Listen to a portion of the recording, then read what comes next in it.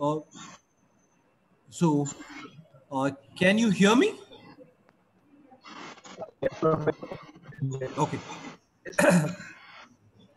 so, uh, what happens therefore is the work starts becoming meaningful, and therefore you have high motivation to do the job. So, that is rather than doing the same boring job, you're trying to make the job look more interesting. The second one is how much freedom do you enjoy in doing your job? Do you enjoy that if the company sets the boundaries and say that this is your deliverable, this is what you need to do, you need to do it by then, but you can figure out how to do the job. You can figure out when to do it, how to do it. Then the job, when you have more autonomy, then the job is more, um, it becomes more motivation to whoever is doing the job. And this, the third point is feedback that I'm getting regular feedback, both what I'm doing well on the job as well as how this can be corrected. Now, if there is some part of job that people can do better, it is about feedback. So please, those of you managing teams, I would strongly urge you to uh, give feedback in all the feedback in all the employee satisfaction survey that I know of. Lack of feedback has been one of the things that has been highlighted. So people don't get adequate feedback. So not just a positive point, but where this person needs to improve also is an important part and motivates people. So we are too scared to tell something wrong. What if the person stops working or his productivity comes down? Actually, giving proper constructive feedback along with whatever is a positive feedback, that is what would make the person become more motivated, would increase productivity. All this ensures higher productivity. All these ensures higher motivation. So think of ways in which you can make your team members joy more joyful more motivating so that your own productivity goes up. Now uh, what are some of the ways in which we can make the job more interesting the first one is um, uh, have you heard this job rotation? Does any of your companies follow job rotation? Yes, yes, professor. Okay, so what do you? What does your company do? So we work on uh, gas turbines. Uh, your voice is very low. I can't hear you. Uh, we work on gas turbines. Okay. And, uh, we keep moving people around the teams. Uh, we call it cross skilling. So they are often trained in different departments and they are moved around at least uh, once in a year or uh, uh, quite frequently. Okay. Um, anybody else who regularly moves people around job rotation as a practice? Manjunath here. I work for a clinical research organization where we work on multiple safety documents. And our company calls it something called as APP, Adaptive Parallel Processing, where uh, we we train people to work on multiple documents in multiple departments. So this helps in two ways. One the skill sets of the individual goes high and they feel uh, challenged and motivated when they have to work on a new document. And second thing is there are days where um, the work is unpredictable. There may be like one department where people are available uh, in a day and the other other department is overloaded. So this this concept helps us in both the ways employee utilization also upgrading uh, uh, employee skills. Okay. So uh, I agree with you. I agree with both of you. So the basic purpose of that is to make the job interesting, give them other skills to develop, to make the job more challenging. So if you move people from one area to another in your own department, in your own teams, it will make the job more interesting. It will make the person more motivated to do the job. now, um, you know, simply not doing the same thing, just looking at another document, other type of customer, looking at something that is different, it definitely helps reduce boredom, ensures that. Now, the other way of doing it is give this person more responsibility. Same job, but higher responsibility. Maybe make this person responsible for a newcomer who's joined training of that person maybe make this person do something more than what this person has been doing so just adding on more responsibility definitely ensures that there is some new element job. More skills are being utilized as we saw in the job characteristic model, and therefore the, it definitely helps in improving motivation of the job. So um, now, the third part of it is to, uh, in some jobs, people can't see how their jobs relate to the end user. So just ensuring some connection between the work you're doing and the person who actually uses this job, that is what makes a job motivation. This is used largely in the medical field. You know, so um, the people who manufacture drugs never see happy, um, healthy people who have recovered from an illness. Just meeting some of them, just hearing how the drug helped them, motivates people, gives value, gives meaning to the job. Okay. And now, um, flexible times. Uh, does any of your companies allow flexi timing? Well, can hear a typing um, typing sound from someone. Is someone on unmute? Please, uh, if someone is on uh, unmute, kindly mute yourself. It's very disturbing. Professor, even I'm here. I, I can't hear you. Just Yeah, Professor Manjunath uh, again here.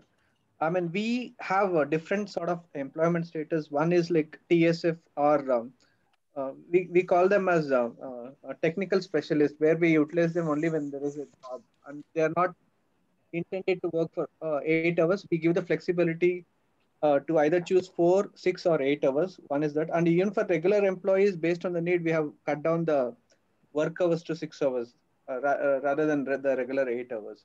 So that's that's some options that the company has. Okay. So good uh, that you can select how many hours you're going to work. But uh, uh, most companies that allow flexi timing have a core hour where everybody needs to be or there, or you either need to be logged in or need to be physically present. Uh, you can come earlier than that and finish your jobs, or you can stay up later and finish the job, allowing people the flexibility to do that. That's another way of motivating people. Now, if the job is, if two people have to do the job, you can let both these people decide on when they will come in, who will come in earlier, who will come up late. You don't uh, assign the job, let both of them decide. You set the parameters that, for example, if you have receptionists, two receptionists, you tell them that somebody needs to be there from nine and they need to be there till nine in the evening. You can decide on who's going to be there when. We need people there present right through the day. So then they will decide and say, okay, I'm going to work eight hours from nine, but I'll go at six and I'll come a little later, but I'll go at nine. That you are allowing people to the flexibility to come up with whatever their timings are. Uh, telecommute uh, become a reality thanks to Corona. Um, are most of you working from home or uh, some of you need to go to the office? Work from home, Professor. We work from home, Professor. Work We from go to office. So,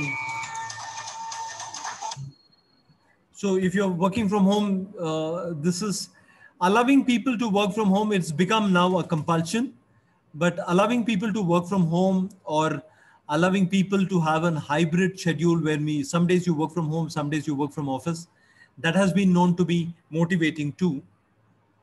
Uh, as professor in EY, even when there was no corona, like they were, I mean, we were supposed to work two days from home, like only Okay. three days from office.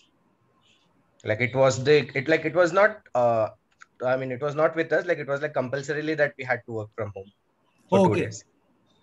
So three days from home, two days from office. Was that the Uh, no, three days from office and two days from home. Okay.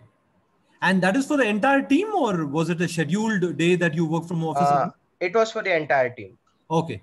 So that's fine. Three days you finish your meetings, two days you go work and you focus on work. Uh, So yes. now it's become five days working from home. Yes. Okay, so uh, this is a very interesting study that was done that uh, actually work from home uh, works, you know, the, the better skills that you have, the easier it is to make people work from home. So when uh, it's easy to make highly skilled people whose work can be done from home using just a laptop, you can work. But for a lot of other things, people will have to come back. Uh, they will have to, for example, your facilities people, they will have to come, or people who are managing IT infrastructure, IT support, they will have to come and physically be present. So that is um, an interesting statistics. Sorry. Now, uh, one way that people at a company level, at an organization level, one way they said to improve relationships and to improve motivation was to actually have employees participate in top management decisions. Okay, so this is a practice that is largely there in the uh, manufacturing sector that you have. Uh, some of the manufacturing sector uh, follow this practice where they have worker the worker representatives actually sitting in on decisions that are taken for example which product to take or you're talking about automation. In such decisions you have the workers representing uh, representative being there to tell about the workers side of the story and to tell whether the impact would be there. So um, any type of participative management most companies have management councils where they have people from different departments and these departments ensure that uh, whatever is the role that or the observations of the department the inputs that the department would like is conveyed to the top management so this is one way of doing it but uh, in a lot of companies especially this is mandatory in europe where you actually have people from the worker uh, from the who are workers actually participating in the top management and giving their inputs to the entire thing. Uh, in India, some of the companies have uh, these management councils where the workers also participate in some of the decisions. So uh, the idea is for the workers and for everybody in the company to get a complete view, to look at the big picture and to understand why a decision was taken. More often than not, people come up with their own, uh, whatever they think is right, and uh, their perceptions, which may be wrong, is responsible for the general feeling that this decision is right or wrong. So to ensure that people get the big picture and the reason why a company is taking a decision that it takes, any especially uh, large decisions, setting up a new plant or ordering some equipment, automating processes, any such decision, it, they have found that involving people of the shop floor is something that improves morale, but also improves the quality of decision making. Now, um, in India, we don't have uh, too much of work councils and board representatives. Some of the PSUs have this concept. So, um, organizations like um, KSRTC follow this. Their top management would, you know, when the board takes a decision, you will have somebody representing from the workers union being part of that and who understands why the decision is taken the, the union can object to certain decisions can tell the union the management the pitfalls of the decision and what could be the consequences of that. so you do have some amount of participative management. Anytime you have participative management the morale of the team is higher and the quality of the decision is much higher. Now um, the next thing is uh, what to pay people, uh, people who are from HR, people, people who are from any other uh, departments. At the year end, do you have to decide on bonus and uh, pay rises of your team members based on how they perform for the year?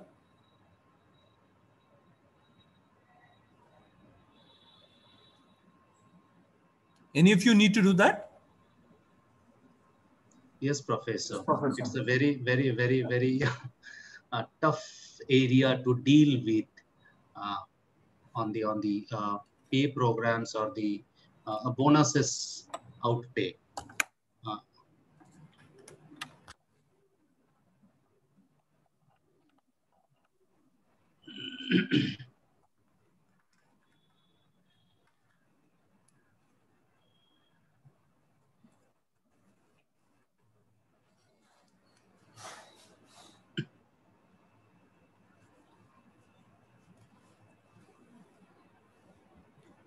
Can you hear me? Yes, Professor. Yes, sir.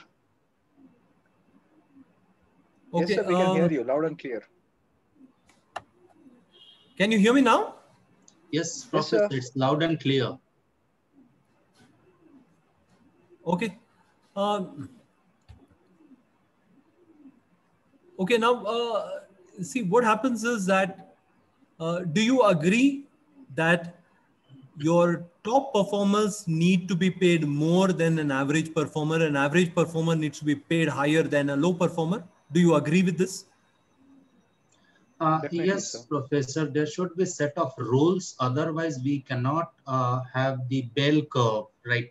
The highly perf- high performer, there has to be an average, moderate, and uh, medium, low, and high performer. Uh, uh, based on the performances, this has to be allocated.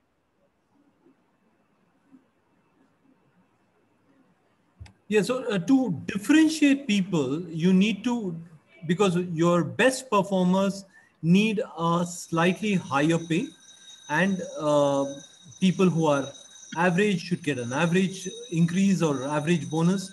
So the idea is how do you do that? Okay, now just remember that different companies, depending on the industry you come from, depending on what is your condition, they have different. So at the lowest thing you have when you have people producing goods you have a piece rail meat you know for things like agarbatti or papads or something like that. You say you the, this is how much you need to give. You give me that. If you give me more i will pay you more. The same thing is followed in the textile industry. The same thing is followed in if you go to a textile mill they follow a piece rate plan. Either it is in uh, volume or it is in number of units and they say okay you need to p- give me so much and then i will give you so much of money for each one that you've given. Now so in other when we are talking about uh, the regular employees and the team members we have something called merit based pay where not everyone gets the same increase. People who have performed more gets higher increase people who have not performed so well get an average increase and people who have performed less get a less thing. Depending on how you have performed in the year you get a pay. This is called a merit pay. So what you do is you differentiate your top performers in terms of pay because pay is a form of recognition. So these people feel motivated because it's definitely a form of recognition. Uh, so uh, the same thing with bonus. So instead of giving a hike you might give a higher bonus to somebody uh, you can give uh, more to somebody less to somebody else depending on how they have performed.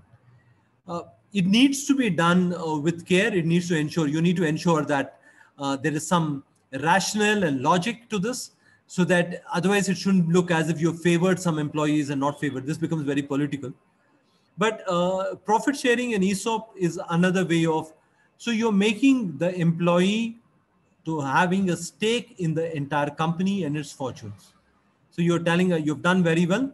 So you are going to stay with me. So it is both an way of recognizing people but also a very very good method of retaining people. Okay so uh, instead of just giving bonus and a, if you give a bonus a person can leave and he would have received the bonus you give stock and those stock typically vest after a certain period of time maybe after 3 years. So if the person thinks that it's a very attractive offer you've given him he might stick for at least 3 years. So therefore it ensures that some of your better employees stay for some longer time. Now, uh, variable pay means that uh, some people get more, some people get less, and uh, some people get um, okay. So now, uh, do you uh, you know uh, do you have a flexible benefit plan? Uh, usually, also called a cafeteria method, where you get a lot of benefits and you can choose the one that is most suitable, that the one that you want the company to pay for. Does your company allows that? Yes, Professor. Uh, nowadays, they started doing a flexi pay uh, by using a Paytm wallet money like that. Okay. So you do you get to choose it? Yes, yes. We have a limitations. We can we based on our uh, limitations, we can make a, a target of amounts to deduct with the flexible amount. Okay. So, um, so th- this is basically so. Uh, if it's it's called an FBP or some companies call it cafeteria, which basically is a whole lot of benefits that you can take. There's a limit amount given to you, and you can pick and choose ones which are most makes the maximum sense to you. So that's the that's the benefit of doing that. So you allow the employee to pick up something that the employee is benefited by, by rather than mandating that everybody chooses the same thing. So you're giving people some flexibility in doing that. Okay, so uh, now, okay, now goals and feedback, we have talked about it.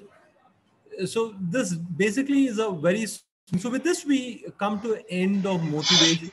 We basically look. Sanjay, I, I, I just want to Yes, chip in and uh, find out if, you know, uh, what this class of 41 people out of uh, 191, so obviously 150 are sleeping somewhere. Um, oh, think about ESOPs.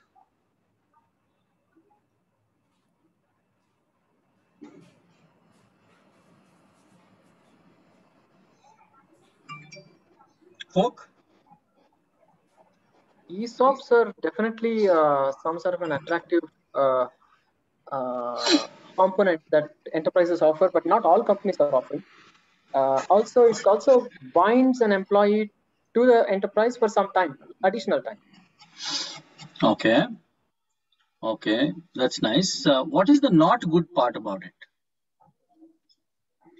Sir, in So Kannada, it's Sanjay has told, been telling uh, you, Sanjay has been telling you that it is a motivation tool. yes, Can it create problems at any time? yes, sir. It cannot be easily. It's not. It cannot be liquidated. Uh, in Kannada, it is told Kannadiyalana Gantu, as in you can only see it. You cannot convert it to money. Mm-hmm. Okay. Anything else? Okay, yeah.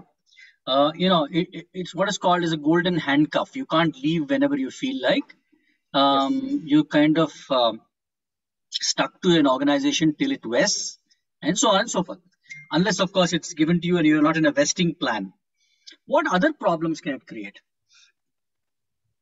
Uh, Captain, I think um, uh, you can feel that uh, he's not being recognized even though the hard work is put. Why ESOPs is a good recognition, right? You get shares.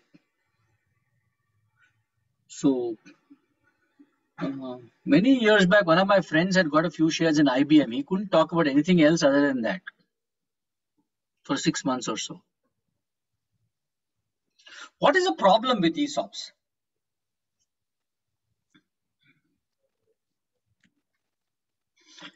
So we have been hearing about it as a motivation tool. I am asking you, when can it start creating a problem? Yeah, uh, Professor. Um, so one of the person when um, gets this kind of uh, award, it uh, uh, there are chances that it may go in uh, like a wrong message uh, to the entire um, team or large audience, which may which may create which may uh, motivate one person but demotivate ten other people. There are Not such chances possible. not, not necessarily Anil. If you look at, uh, if you look at, say, uh, uh, ESOP plan, say for large organizations like Google or some things like that, uh, every criteria has a set amount of dollar payout in terms of ESOPs. Okay. Say if you if you join as a lowermost uh, software engineers, you get X amount of ESOPs. You join as X plus one, the number increases and so on till you become CEO. And therein lies your answer actually as to what is the problem with ESOPs. so the more you rise in an organization. So let me tell you that, um, say about exactly about a year and a half ago, the stock price of, say, um, a company like Google was thousand three hundred dollars. Yeah. Today the stock price is two thousand three hundred dollars. Can you imagine?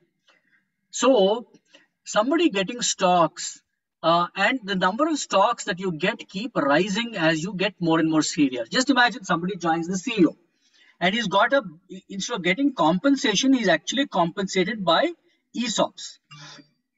there is a tendency to sort of keep that stock price high. And I don't know, I must have given you a case on Enron, and you must have seen that. So Enron case is a classic example of what happens when ESOPs are given and they are not monitored carefully. So people in the top echelons try and use all sorts of methods to keep the ESOP high, the price, the share price high, so that their ESOPs fetch them more and more money.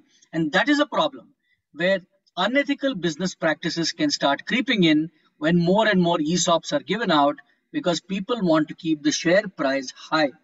And so you have to be very careful. ESOP can be a great motivating tool. It can also create unethical business practices. And if you've not read the case on Enron, I recommend, highly recommend that you read it. There were two guys. One was the son of a preacher. Uh, the the CEO, the the the um, the CXO was uh, from Harvard, and the CFO was another highly qualified guy who was a crook. Three of them joined together and really defrauded um, the, the, the United States government, United States people, and so on and so forth. So it's a good case study as to what the what ESOPs can actually do to people and how they can promote unethical business practices. Yes, Sanjay. Uh, Professor, is Satyam a similar example? And the other disadvantage that I see is what if the stock price comes down in as in as in cases of Satyam? Satyam and... is a is a similar yeah, Satyam is similar example in terms of fraud. Here, much of the stock was owned not by ESOPs, but by the owner, the founder, that is Ramalinga Raju. See, you have to understand that many people in India, entrepreneurs, are still real estate agents. Yeah, Ramalinga Raju, uh, he, he masqueraded as an IT guy, but hid behind actually real estate. So the thing is that he bought real estate all over India, and when it tanked, when he couldn't sell, uh, you know, the, the, the cat was out of the bag. That was his problem. His problem was that he had borrowed so much of money uh, and he was buying land. And when, when land prices tanked, he did not know where to go. Uh, Enron is a different case. Enron, they were hiding losses. They were so every time Enron created a loss, they would create what is called as an escrow account, and they would or what they called as special purpose vehicle or special purpose instrument and they parked their losses in that special purpose. They dehyphenated it from the company. So that means they did not have to show the loss on their books. So because of that, their stock price was always artificially very high. So at their peak in 2001, Enron was doing $70 to a share. When the stock, when the scam broke, it fell to 50 cents in a few days' time. So a lot of people, including pension funds, and real and, and mutual funds people who invest lay people like you and me had invested in enron thinking it was the greatest company in the world and it, they all lost their money. The good thing about the united states is that you know uh, both of these fellows got 30 years in jail. Yeah? One of them died the other one is still in jail. Where is our friend ramalinga raju not sure now sir sipping coconut water at home He's out on bail. Yeah. So, so that is the that is, so the United States they, they took this very seriously because people came and told the judge. In fact, there's a there's a very poignant moment in the case study where a mother and daughter come and tell the judge it is because of these two people that we have to live in a tent in Central Park because their entire money was put in the pension fund and and and one of the biggest stock holdings was Enron. So so, you know, these motivation tools are good, but they can also start creating problems when they are not managed or monitored carefully. Yeah, thanks, Professor. Yeah. Sanjay, all yours. Okay. Uh, we we were talking about motivation and using motivation. So, any questions regarding this before we go on to the next thing?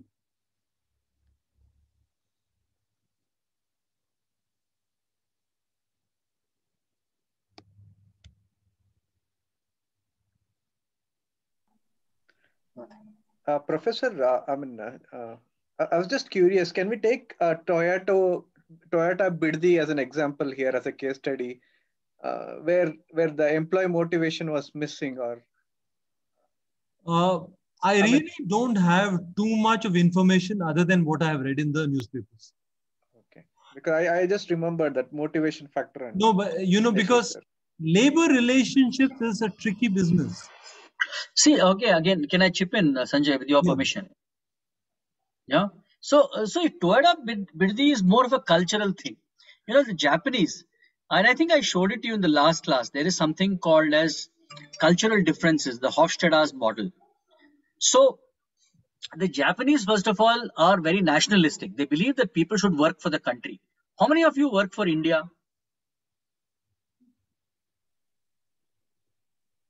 So most of you uh, are working for your family, for yourself, to, to get you out of, say, lower middle class to middle class to rich and so on and so forth. We have all have our motivations. The Japanese are very clear. They work for Japan. They, so they're a nationalistic country, first of all. And the Japanese don't appreciate trade unions. They, they, they think that a trade union is below anybody's dignity to even talk to. So therein starts the first problem.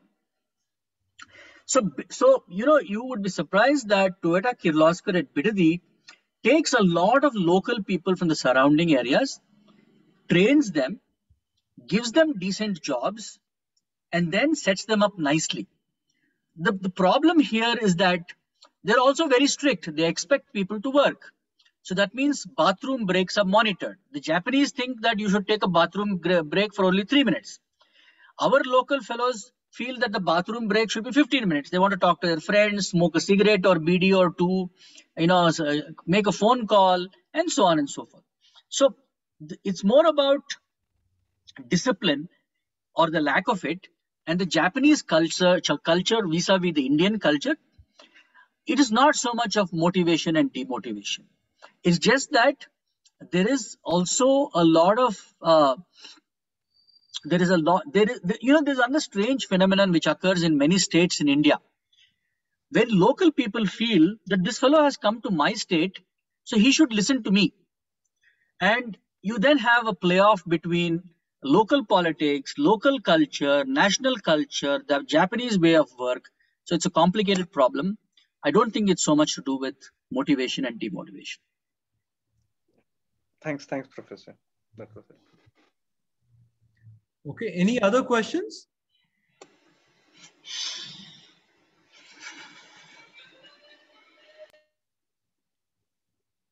Okay, so let's move on and let's look at the next one, which is on, let's look at groups and let's look at how groups behave. Okay, so uh, now, uh, how many of you work in groups? The work that you do requires you to work with a group of people.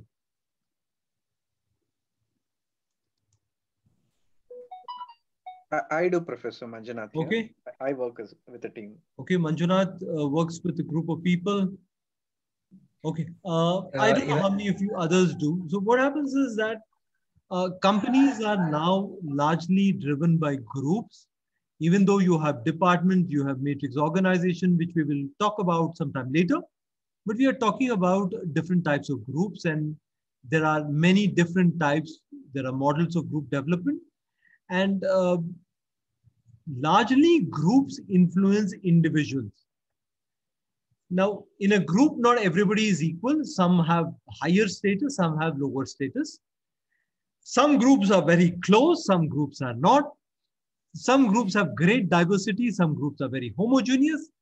All these are part of groups. And so let's look at what is a group. So uh, this is the definition.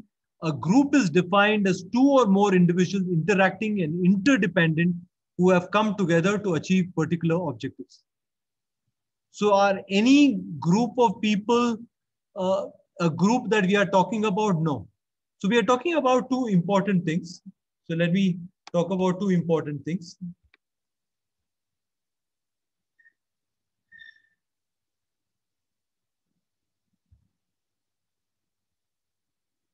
One minute, just give me a minute.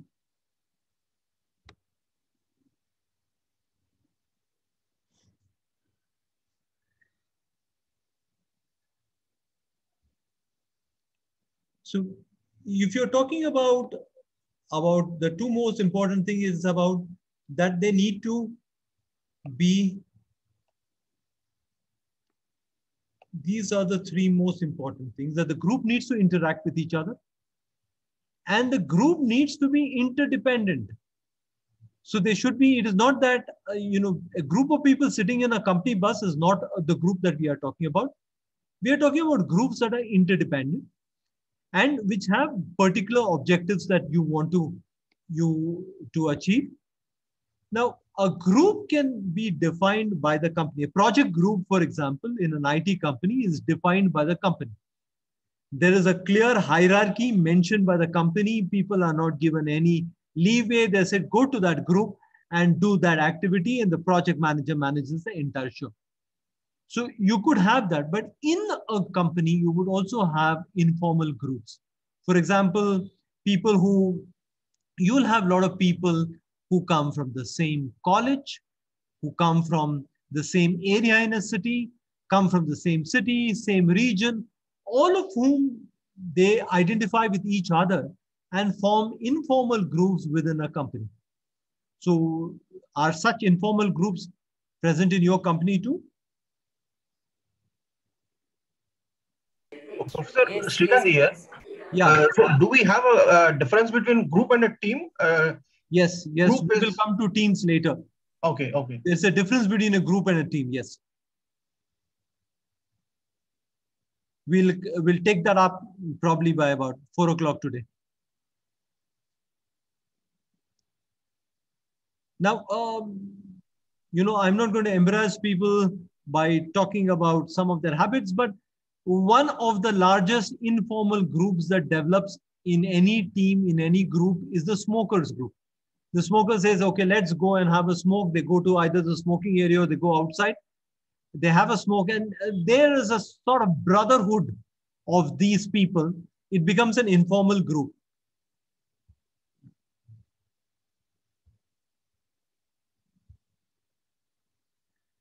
Now, uh, why is groups important? Because you feel you're part of a group and you start feeling emotionally that you're part of a group.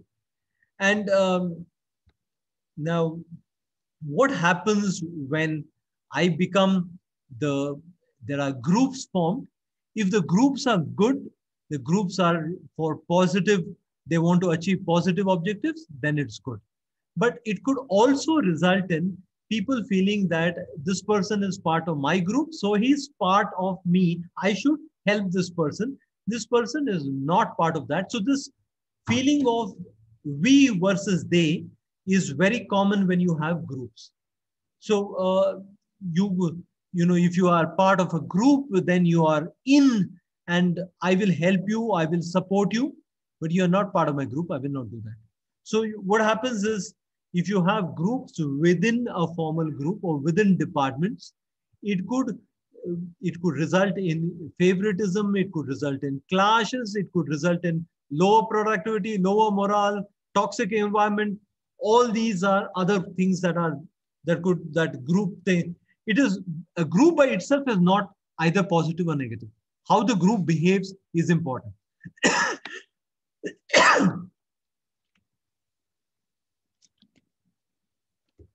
if the group feels that you know we are there but there are other people too with whom i have to interact it's a positive thing if there is too much of a feeling of membership of a group and saying that if I'm part of a group, I'm not part of any other group, and I should ensure that my group does better than the other thing. You have problems. You have you could have conflicts that happen before that, and so um, sometimes if I'm part of a group, then I get tagged as part of a group member, and if that group is positive, then I'm tagged as a part of a positive group. If the group is negative, if there are uh, the general impression is that that group causes problems, they're troublemakers, then I get tagged along with the tag of the group. So the group tag is that I'm a troublemaker, then I'm tagged as a troublemaker for the rest of my life because I'm, I was part of that group. So depending on what your group does, depending on who your group members are and what your activity is, you come up with an identity for that group. Okay, so uh, this is a very, very common method of working in a team that uh, suppose you got a task, the group got a task, then what happens is that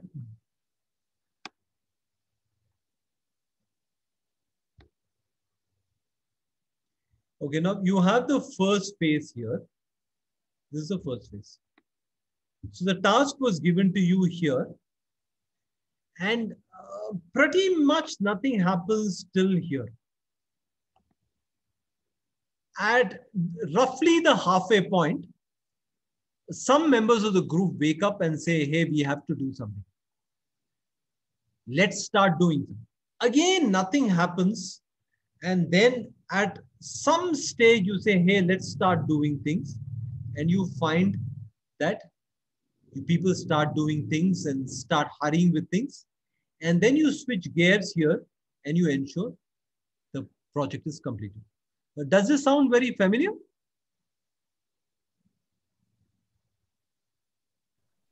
Yes, professor. Yes, happens when we are Yes, doing professor. group presentations also. Group Yeah, so- yes, yes, yes.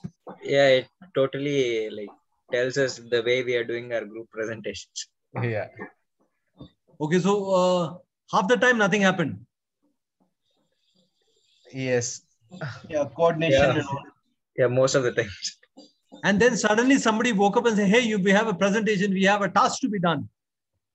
And then you suddenly switch gears and then you start doing things. And then you say, Hey, we have to work even faster. And then you work faster and complete the task. Okay, so uh, uh, isn't this how a lot of us studied in the, for our exams too? Yeah, professor. The day before the exam, Mostly at the study- end of the time, end of wait, yeah, mostly the day before the the exam, we do that, and And uh, what did we do every time the exams were over? Next time we'll start from Yeah, beginning. next time we will not do this. We will start studying from one day. I don't want to have this tension at the end. And then we get back to doing the same thing because it was more interesting. So uh, this is this is exactly how teams work. So if you give a task to a team, for a long time nothing will happen. And then at about halfway point, halfway to the deadline, the team wakes up and say, "Hey, we have to do something," and then the activity starts. And then somewhere near the end, you will have the team saying, "Hey, we are, we have to switch gears. We have to work even harder," and they work harder. You know, stretch the deadline and you know work much longer hours to ensure the job gets done. This is the punctuated equilibrium model. This is what it talks about. And we now come to an important part, and we talk about roles, and we talk about what is a role and how do people, what is roles and what is okay now you know uh, let's take the example of movies okay do you have we have the same actor or actress playing multiple roles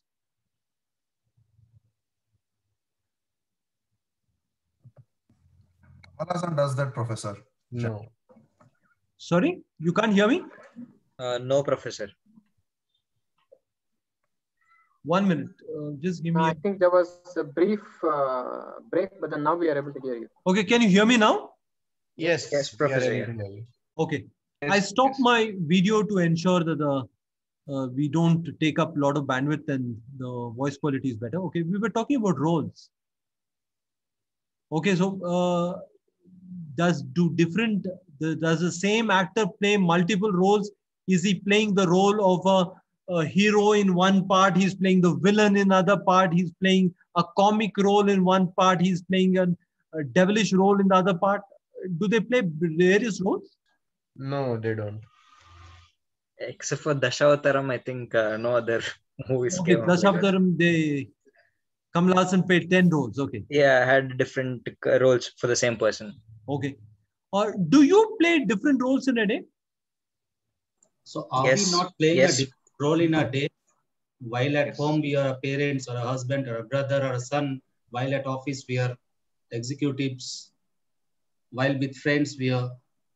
So we are playing a different role throughout the day. okay in a company do you play different roles Uh, yes, Yes, sometimes. Yes, professor. Yes, pro- yes, professor. yeah so so uh, basically we all play different roles and uh, in that role we we are expected to behave in a certain manner because we are playing that role. So the role that you would play when you're the team lead or the team leader or a project manager is very different from what you will be playing when you're you know with your peers because there you're playing a different role. So depending on the role that depending on the role that you have you are expected to behave in a certain manner. And depending on that role you will behave in a certain manner. The way you behave with your parents may be very different from the way you would behave with your friends because they're different roles require different behaviors. So uh, depending on how i perceive my role to be at that point of time i will play that role and behave in that manner so different roles will, be so I can't behave the same with everyone. If I'm talking to the CEO, my behavior might be different. If I'm talking to my peers, my behavior might be different because my, I'm playing different roles. So what happens is that there is an expectation from the different roles that I have. And there is an expectation that I will behave and I will fulfill my requirements of each role. In a company, you have multiple roles. You're playing the role of a team member, you're playing the role of a team leader, you're playing the role of a stakeholder, you're playing the role of an employee, you're playing the role of maybe a mentor. So you have various roles. And there is an expectation from each role. And that is what is called a psychological contract. That if I am a team member, I expect a certain behavior from you. And when you give that, you are fulfilling your side of the contract and I will feel motivated because you have fulfilled your side of the contract. And that is how roles work in an organization. However, you could have different roles which you play, not different roles that other people play, which roles that you play are in conflict with each other. You might tell your wife or your spouse or your parents that I'm coming home today early because it's a special day for you. And you might get stuck in the office because there is some escalation or some urgent work has come up and you are expected to work late and finish that. Now, these two roles, the role of a responsible team member and the role of a son or daughter or a husband or a spouse are in conflict with the other. So these roles conflict. And when that happens, so what happens is that you choose the role and you say, okay, this is what I am going to do. If this is a conflict, I'm either going to tell my boss no, or I'm going to tell my people in my family no, that I can't come on time. So uh, the biggest problem that occurs is that the different roles that we play are in conflict with each other. Okay, so you could have different roles and a lot of the problems we face as managers, as leaders, is when the, we have different roles and there's roles conflict with each other. Okay, so we'll look at them in, um, and we look at this very interesting experiment that Philip Zimbardo did. And uh, Philip Zimbardo said, okay, how much does a role that is there, how much does it influence behavior? If I give you a role which is very different from your normal role, will you behave differently was what Philip Zimbardo trying to do. Okay, has anybody heard of the Philip Zimbardo prison experiment? No, Professor. Okay, so uh, what happened is that he recruited students. So they were all regular students who were studying in a university. He recruited them, told them, look, you are going to be part of a study and you will get paid for it. So please come. And some people volunteered. So it was chosen at random and based on people's volunteer they went through a psychological test to ensure that all of them were normal humans. Okay, then uh, Philip Zimbardo said, okay, this experiment is like this. Some of you will be treated and your role is you have to act like a prison guard. And the rest of you will act like prisoners. So the roles were defined. The roles was that you will be prison guards and the rest of you will be prisoners and Philip Zimbardo wanted to check whether there would be difference in the way people behave when they become a prison guard and difference in the way people respond when they are prisoners. Now remember, all these people are normal students with no experience either in prison guards or as prisoners. They're normal students. And what uh, Philip Zimbardo did, he was trying to observe how do people behave. And he found that very soon, the students who were assigned the role of prison guards started acting like prison guards. They started becoming authoritative. They started really ill treating the prisoners. Now, the prisoners who could have protested and said, Hey, we are not prisoners, we are students, treat us with respect, didn't do that and started acting as if they were prisoners and started obeying the diktats of these prison guards. Philip Zimbardo got so scared by this experiment that he stopped the experiment midway. You know, the experiment was expected to go on for a certain amount of time. He stopped it and he said that this could cause maybe permanent damage, which I don't want, and he stopped it in middle. And Philip Zimbardo showed that when you give somebody a, a role of authority, that person will act like that, and the other people will respond as if this person has real power. So this is what roles can do. So if you have a role and you have a, taken power for that role, and you behave that way, the rest of the people will follow. If you are a leader and not acting like a leader, then the others will not follow as team members because they can't see you following as you're not playing that role very well. You're playing the role as if you're a bad actor. But if you are showing the sort of behavior that is expected, I will follow, I will do what is right. Now, uh, groups follow what are norms. So each group comes up with a list of unwritten rules which group members need to follow.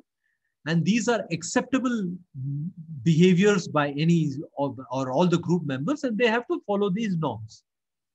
So what happened is that uh, there was another study, and this was conducted by a person called Ask, ASCH. Ask, Asch study was a very, very interesting study. Okay, you see there is a line called X mentioned there. Can you see that? Yes, sir. Yes, professor. Now, your, your role, Sanjeev, is very simple. You have three alternatives mentioned in the right of that, A, B, and C. According to you, the length of X is closest to which line, A, B, or C? B. Okay. We all agree B? Yes, sir. Yes, sir. Yes. So as said, let me try to check what people will do by when we have a twist. So what he did is he got people and he first gave them card and like Sun B. So then he put people into a room where there were 10 to 15 people, different batches had different number of people. And 14 or, of these people were people who were working with Asch on the study. So the 14 were not volunteers. They were people who were part of the study. And these 14 people were told, please give a wrong answer and please give the same wrong answer. For example, so what happened is that the volunteer was seated in middle of these 15 people. So the first person was asked in ABC, which do you think is closest in length to X? And that person said A. And then the next person also said A. And the third person said A. The fourth person said A. And Asch wanted to check, will this person say, the person who is being studied, will that person say A or will that person change and say, no, no, I think B is the correct answer. What Asch found was that in 40% of the cases, the, the whoever was a volunteer went with the group and did not correct the group and gave the wrong answer. That's the power of the group. So when the, even when the group is doing something wrong, you will find that people will not tell the group. The group members will not say, hey, this is a wrong thing, let's not do. They all know. If you ask them offline, they will all tell, yes, yes, this is a wrong practice. But in a group, they will not commit to that. They will not tell others that it is a wrong thing and we will not be doing it. So that is the problem with groups. So sometimes you have groups. Okay, how is this used in group meetings? This is used very often by managers in group meetings in a very, very interesting way. So uh, in a meeting, if you have people that you're coming up with a proposal which you think some people might not be comfortable and might oppose. And you're, uh, so if you say, let's get, you have a meeting and you suppose your team members are 10 and three people you're sure will not like the idea that you're proposing. And you, you come in with that idea, but you start off by one person who you are sure will say yes. So if the first person says yes, the second person says yes, the third person says yes, it becomes very different, difficult for the other people to say no. This is called the S trap. Okay, so this is called the S trap.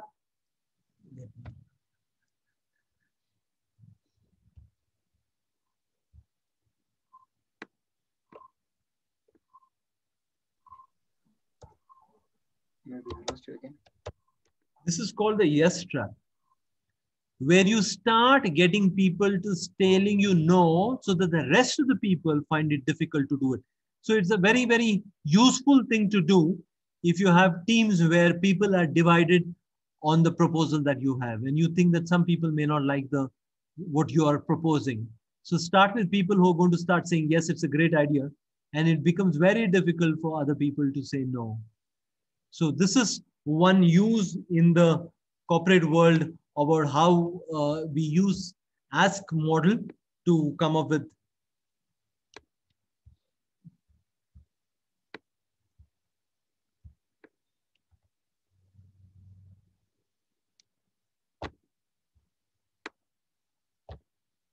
Okay. Now uh, what happens is that uh, if the group has not all groups have only negative things some could have positive uh, positive norms too.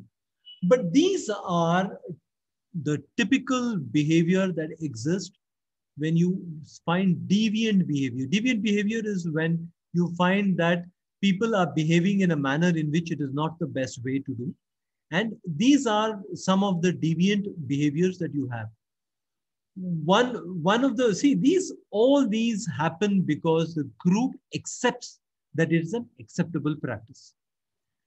One one way could be that i leave early. So if the group makes it a practice which allows people to leave early if they don't have any other work.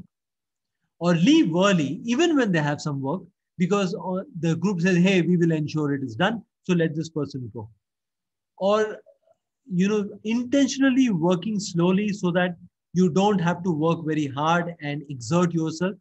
That is another way. Wasting resources not making the best use of time.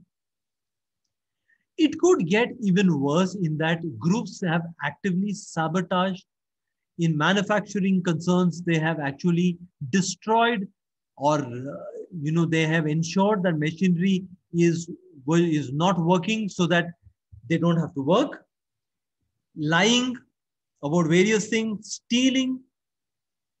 But it could be uh, smaller things like showing favors to somebody, giving undue favors to one team member or a few team members and not to others, gossiping and spreading rumors. Uh, in a small, if it is a small, harmless practice, that's fine. If you're spreading rumors that could be dangerous, like, for example, um, there was this incident that happened in the Apple plant in Wistron, Wistron near Kolar. There was an accident. There were, did uh, somebody uh, remember this incident that happens in a factory close to Bangalore? It is called Wistron. Yes, yes professor. So what happened? Rumors spread that the company is not going to pay its employees and about 250 employees went berserk and destroyed material. Uh, there are various estimates of how much of losses is about, but everybody agrees that there was substantial loss to property and to the equipment that was there in the company. So rumors, you could spread rumors that are really dangerous and could create problems for the company. Uh, blaming, fighting with other people, sexual harassment or verbal abuse of some uh, co-workers. Now, just because you have a group of people, you could have a group of people engaging in such behavior or encouraging and protecting such behavior, such behaviors exist in a company. So if somebody is told, no, you can't do it, and strict action is taken against that, it's, it becomes the norm of the group not to do that activity. But if these things are saying, okay, this is not very serious, let me let go, then you're going to ensure that the group continues to indulge in such behaviors. So uh, while the group behavior could have positive norms, usually it has a lot of negative norms and it could create problems for the entire group or the larger group or it could create problems for the entire company so such deviant behavior works it should be avoided should not be done okay um we'll talk about this a little and we'll talk about uh, status now uh, all of you are familiar with this word status right it's not a it's not a new word. So what do you think is status in a group?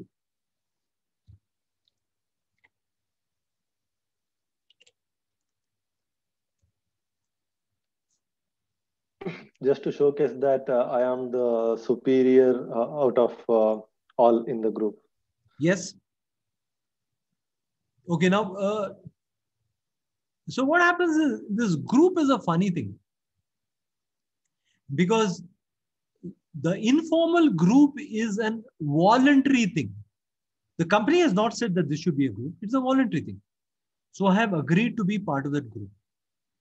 And I have accepted that some of those people are inferior to me and some of them are superior to me. Who's accepted? I have accepted. And I have done that voluntarily.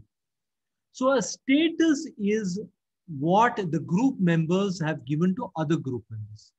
So what is the what is the reason for my high status for some reason i am the leader of the group and the other people listen to what i have to say and so i have the power for other people because they follow me and therefore my status is higher than others because i'm the leader of the group or i'm a person who is contributing largely to the group's success i am responsible for the group's performance and I am responsible for the group being termed high performing. So I get the status because I'm a high performer. Or people like me in the group. I'm very popular in the group. And therefore, I become, I have a higher status because I'm accepted by everyone in the group. So these are some of the things that people get. Now, um, the more higher status, the more freedom I have to do things. I can also deviate from the group norms and nobody will tell me something because I have high status and I can say, okay, I will not do it.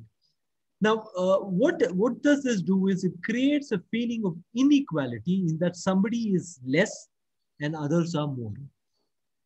And remember that groups follow whatever has been told. Ask proof that group will follow. So other people ensure that they follow what I have to say. Now, social loafing is, an, is a problem.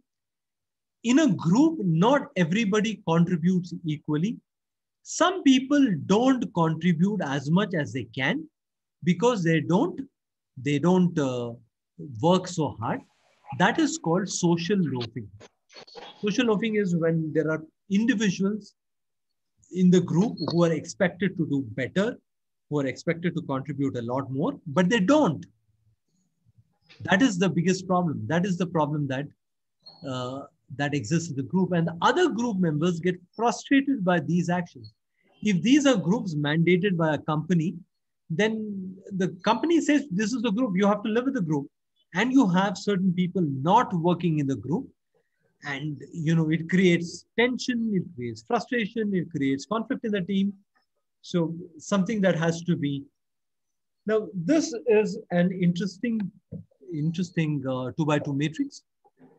It looks at productivity and how close the team cohesiveness is how close our team members to each other. So if my if I the team is something that says that I am a person, you know, the team is very close to each other, and they set a high benchmark for performance. They say, hey, let's ensure high performance. And there is high cohesiveness. Each team member feels the same, and there's a great bonding between the team members. Then you will definitely have high product. If the if the performance norm is high, but then not everyone in the group believes we should work so hard, then you would still have some people in the group working hard. So you will have moderate productivity.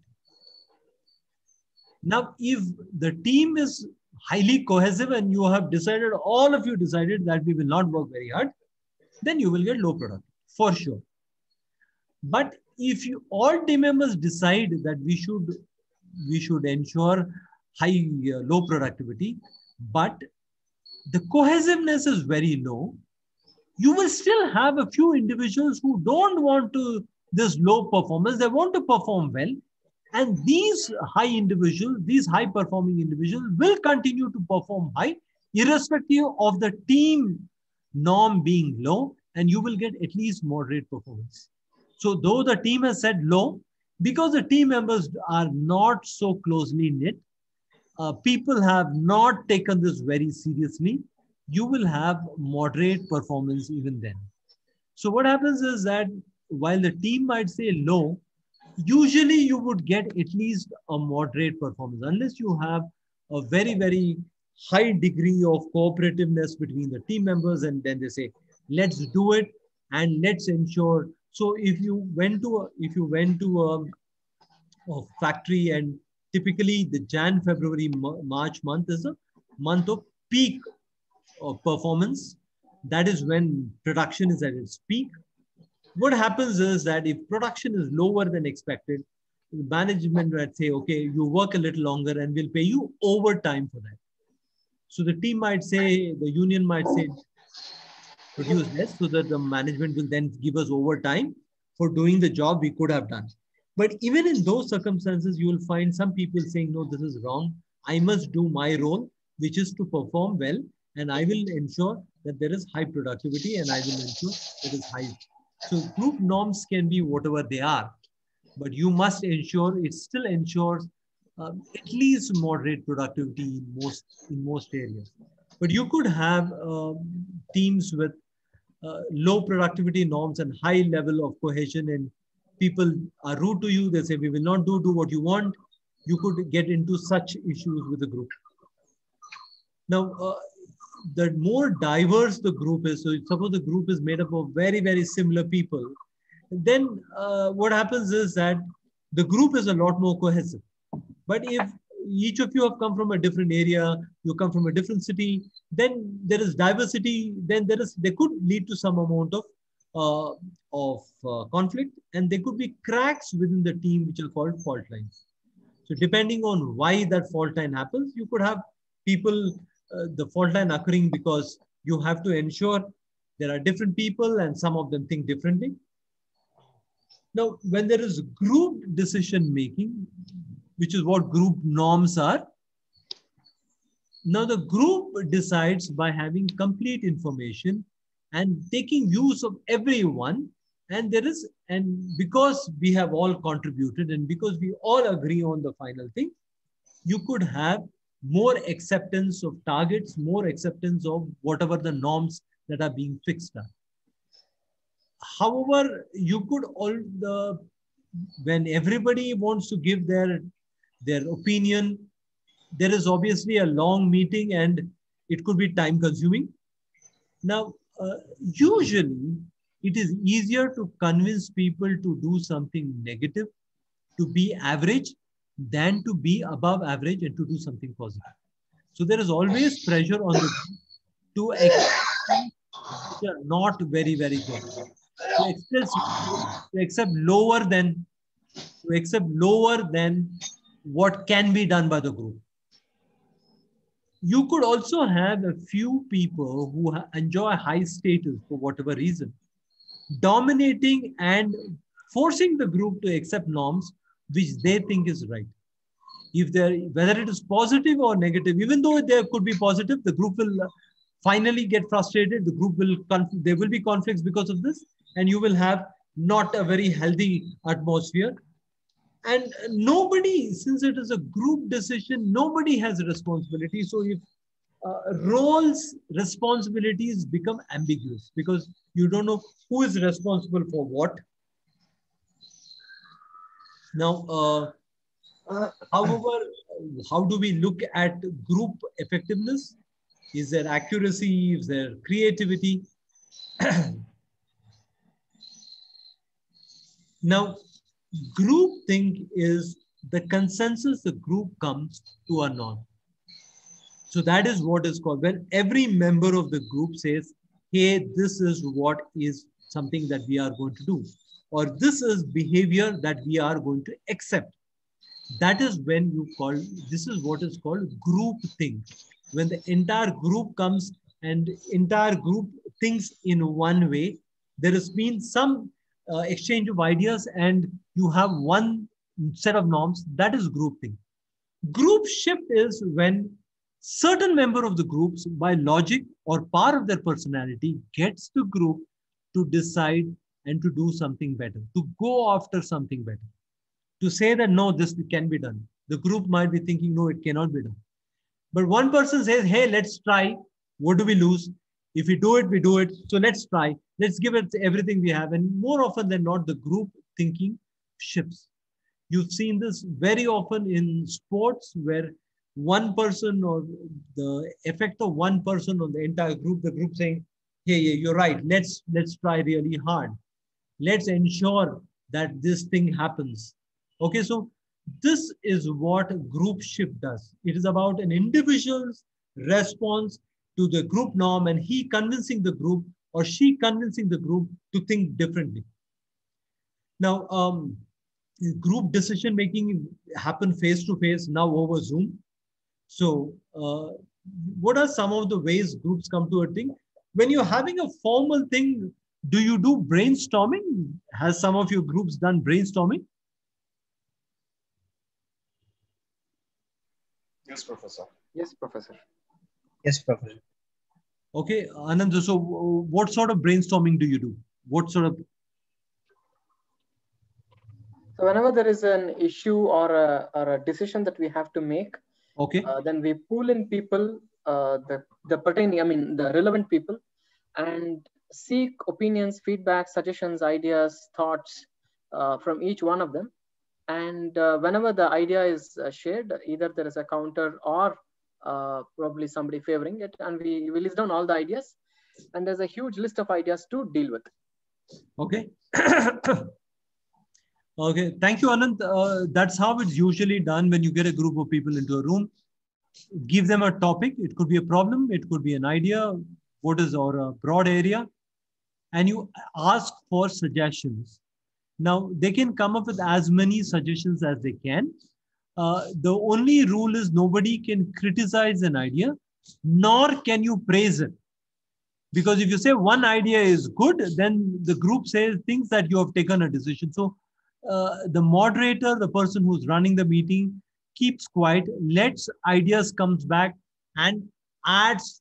Uh, the idea is to generate ideas, generate new ideas, and which can then be implemented.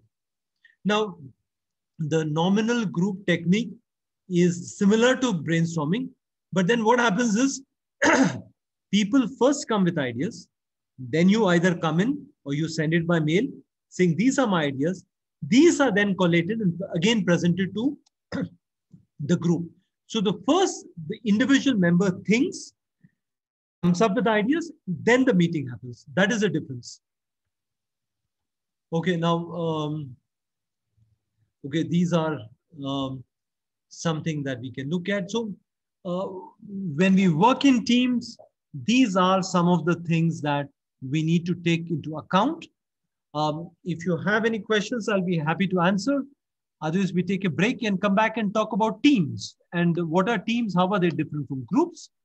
And basically uh, what are the other things that we need to look at in teams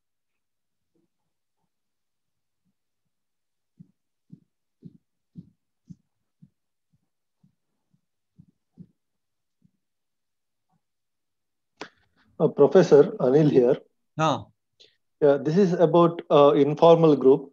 So Yes. I seen that in my uh, previous organization there are uh, multiple informal groups, Yes. um, which we could see during uh, uh, tea breaks or uh, lunch breaks, and these groups are made up of um uh, people who are into uh, uh, in the um, designated uh, um, formal groups, right? They're they're not the same. Uh, what I mean is, if there is a formal in, in, in a team, say there are four people, and those people belongs to four different uh, informal groups, not the same. yes First question is like mm, uh, these uh, lot of groups, right? Is this is a good or um, how it can affect? And uh, yeah, before you answer, uh, one more thing, what I observed from uh, my uh, perspective in that previous organization is these informal groups enabled uh, these people uh, to uh, shed out their frustration. Um, maybe that is the one thing uh, uh, because of which uh, the retention rate was um, low in that previous company. um, see not just um, you see groups can form for many reasons first is that you can't prevent people from forming groups Yeah. now not all informal groups are bad. Like you said they help people shed frustration um, support each other share ideas get some ideas. Sometimes you know just the groups offer a shoulder to cry on. Uh, but more importantly they offer support to the individual. They offer individual support. Now as long as the re- see what happens if uh, i'm in one group and say you're in the other group hmm. then we should not fight because i'm from one group and my norms are different from yours as long as that conflict doesn't happen it is fine but you could have within a team if the team is very big which is a formal group. Suppose there's a project team. The project team has 25 people. Within that, you could have three groups. And these three groups are formed for that I like five more people, and we have formed a group. So Uh, it shouldn't happen that this group fights with another group within the same bigger, larger group. Those things are dysfunctional. Those things create a problem a lot of project teams, a lot of informal groups, if the, it is a very harmless thing like they sit together and have a cup of tea or have lunch or breakfast together, it's a harmless thing. It acts as support. It's a good thing. As long as it doesn't impinge on the roles of the person, whoever is doing it, it's a good thing. Yeah, uh, uh, Professor, uh, just um, uh, pointing out uh, one specific area on that. Uh, just um, say I am a group, uh, I am a team lead of um, formal uh, group, or I'm leading a project, and uh, the four people who are um, working under me are uh, in different uh, informal group. In that case, do you think we should uh, worry in any sense, or do we need to um, look into what uh, everybody is do? I mean, all four are uh, doing. No, Okay, you should not worry, is it? you, shouldn't worry if there are, they are fighting and it is affecting your group, Okay. affecting your results. Only then. Okay. Till then, you let it go because you can't mandate. How can you mandate people? You can't tell Yeah. people you should become friends with this person. He's not going to. Yeah, I agree. And Yeah. just because they're mem- just because they are uh, four different groups, it doesn't mean that uh, they can't work together. Yeah. It doesn't mean that. Yes. It just means that they are fond of four different people, four different groups. But Okay, uh, the bigger groupism problem is within the team. Okay. You have okay. 10 people and there are three groups, you have a problem. Then, Okay. yes, you might mandate and say, you can do whatever you want. It shouldn't affect the work. Don't fight with each other just because you're in different groups. Then you will get in, but not otherwise. Okay. Not otherwise. Okay. Or, um, you know, if some group is taking too long for uh, coffee or tea or something, uh, you might just counsel that person separately, but that's about it. But you will not try to either manipulate this person into a group or try to get this person in a group. You will not do that. Yeah, thanks, thanks, uh, Professor, for those. Okay, so uh, Jayashree, do you have something to say?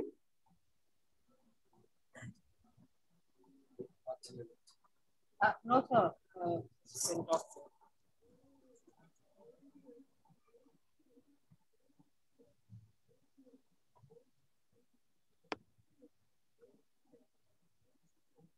Uh, okay, if there is, if there are no more questions or comments, uh, it is three o'clock in my my watch.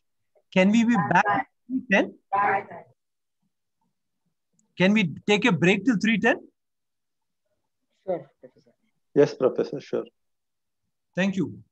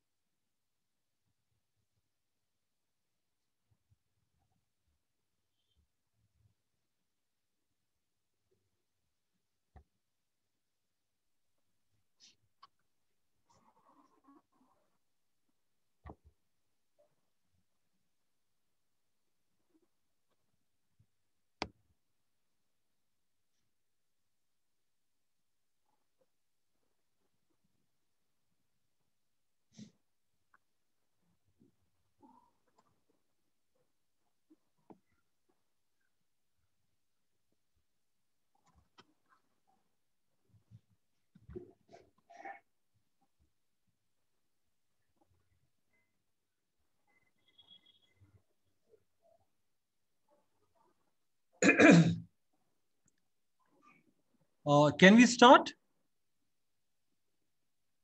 Yes, Professor. Yes, Professor. Okay, so moving on from. Yes, Professor. Sorry? Okay. Yeah, somebody said yes, that is all, Professor. So let's move from groups to looking at what is group and what is a team and look at uh, so in an in an organization there are teams. Now what are the difference between groups and teams? What are the five types of team arrangements that you can make? And what are the characteristics of effective teams? So what does effective teams do? And how organization can create team players? So that is what we are going to use and look at what is okay so why do you think organizations look at teams?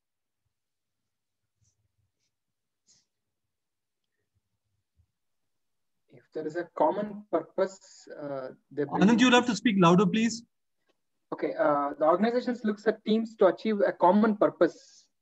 okay. Uh, so you're right uh, and what happens is that instead of having a bunch of individuals if you can get people to work as a team overall you can achieve much much more. This is true whether you're talking about sports or whether you're talking about any other thing. You will find that uh, there are teams that do bet better when together uh, i mean when uh, instead of a group of individuals you have a team and there is team bonding you can get much much better results.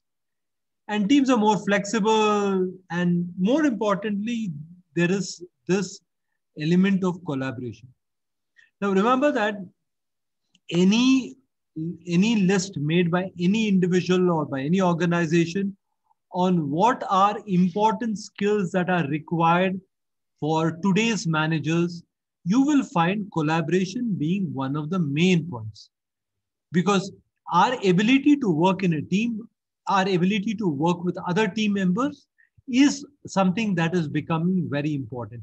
And increasingly organizations are moving towards teams and self-managed teams and other teams to do that. So let's first look at what is the main difference between groups and teams. So what happens in a group is that information is shared between team members and then each member of the team performs individually. So i use ask how are you doing? I'm doing well. I'm having a problem. Information is shared. Whereas in the goal in a team is to ensure collective performance. So that is one of the most important differences that if a group it is so the, what happens in a group is that the group's effort or the group's productivity is the sum total of all the individual productivities whereas what happens in a team is that there's no such thing as individual.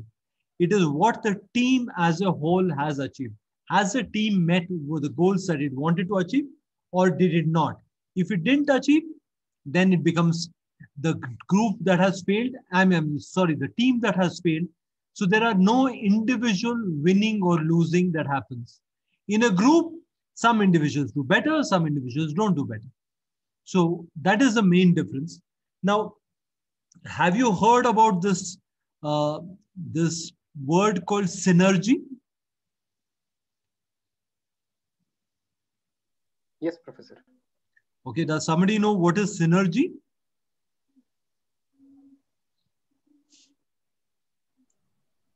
Well, Which one of the ways of understanding this word is to split this word and then try to uh, gather meaning out of it. It's synchronized energy. Uh, that is in its simplest Yes, form. I can. you're right. It is systematic, system energy, systemized energy.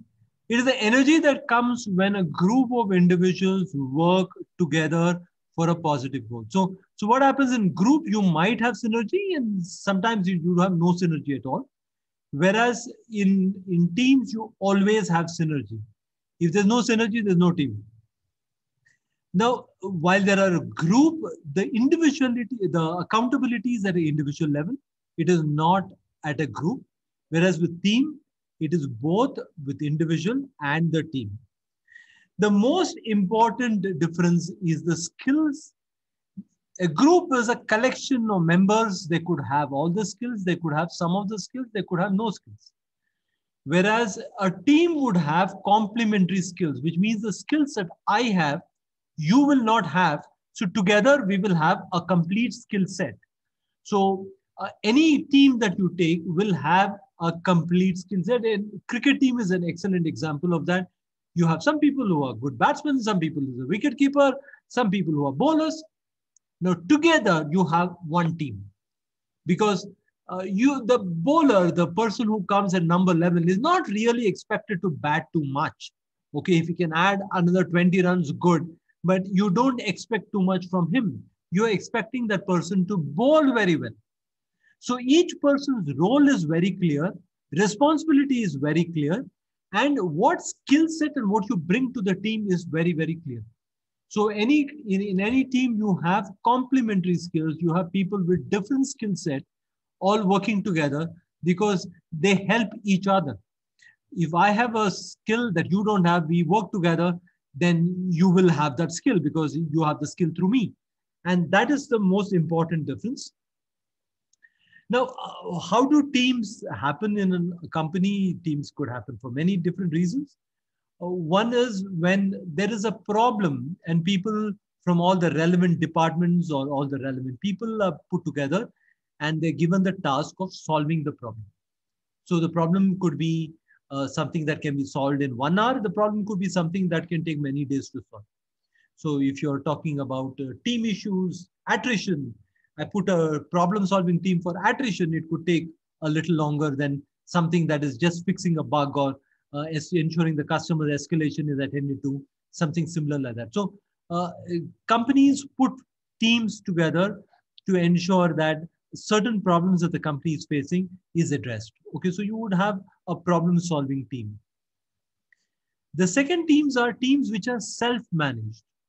Now, a self-managed team is a team where uh, there is no leader and the team manages. So you have all the, so it typically is a meeting of all the peers. There is no leader because all of us are equal. And we together decide on how, how the project should go or how a particular department should function. We discuss such things or what should be training needs, how should training happen, or how should something else happen?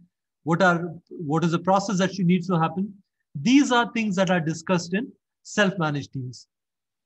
The um, if you went to a company, uh, um, you know, Professor Captain Nagaraj was talking about Toyota.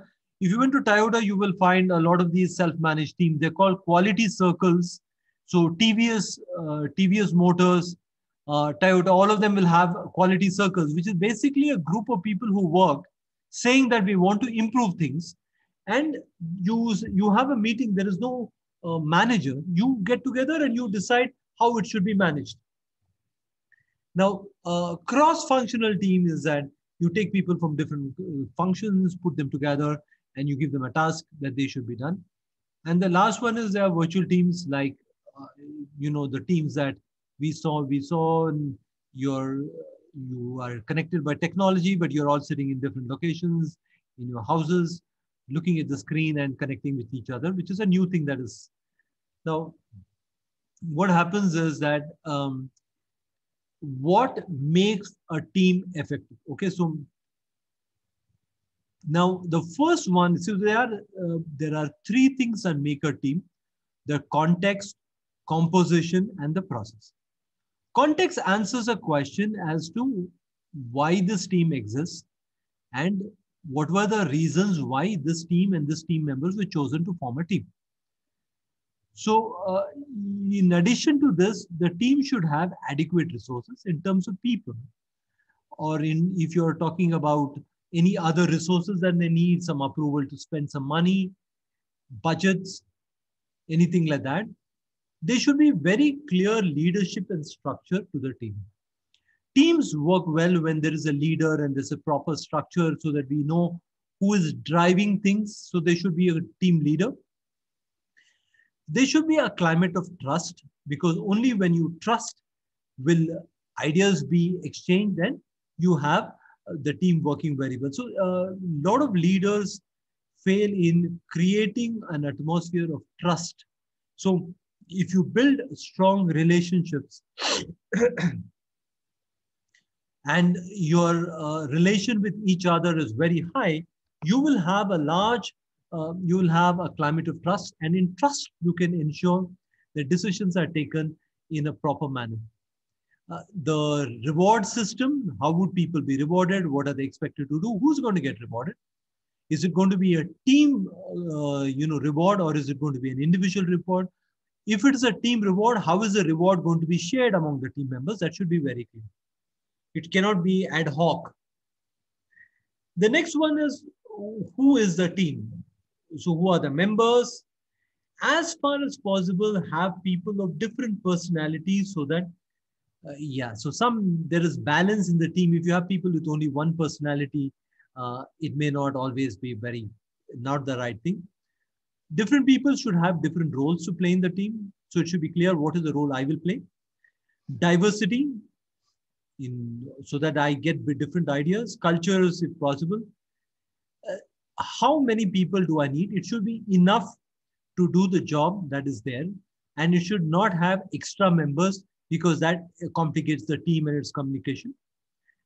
What do the members want? What are the preferences of the team members? And what is the process?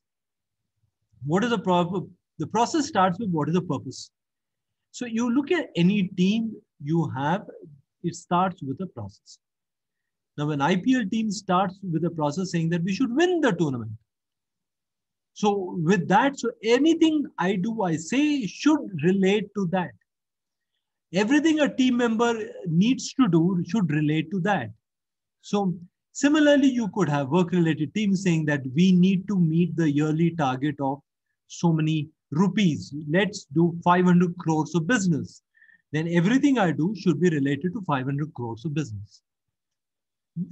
From the common purpose should be specific goals to each team member saying what is it that you will do and how efficient is the team in ensuring that you meet the goals it is nice to give teams an identity so a lot of people give names to teams okay um, do we have any teams with names in the group here?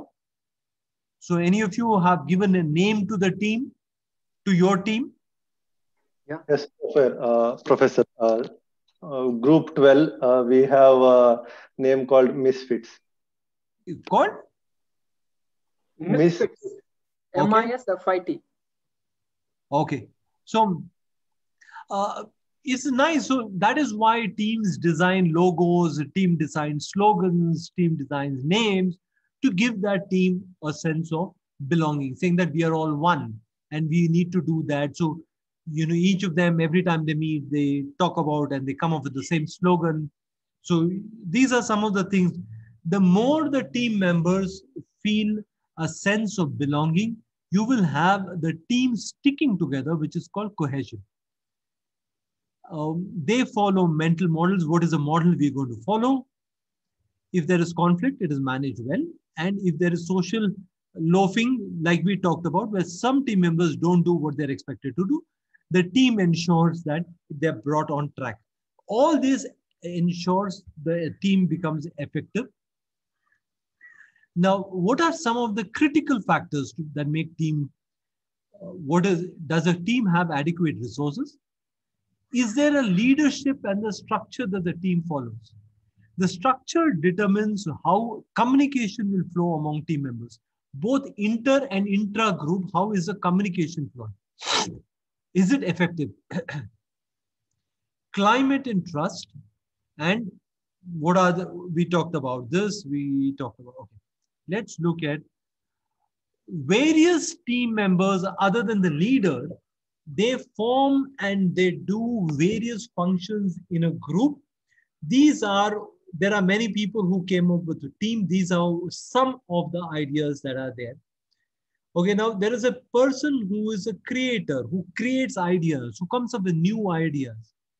There is a person who promotes, who then tries to convince people to follow some of the ideas that have come up. There are persons who are assessors, who can analyze the situation, give the pros and cons of whatever that idea is. There is an organizer who provides structure and he says, okay, fine, this is the idea. How do we take it forward? What is the action plan? Who's going to do what? Who's going to, when do we start? When do we end?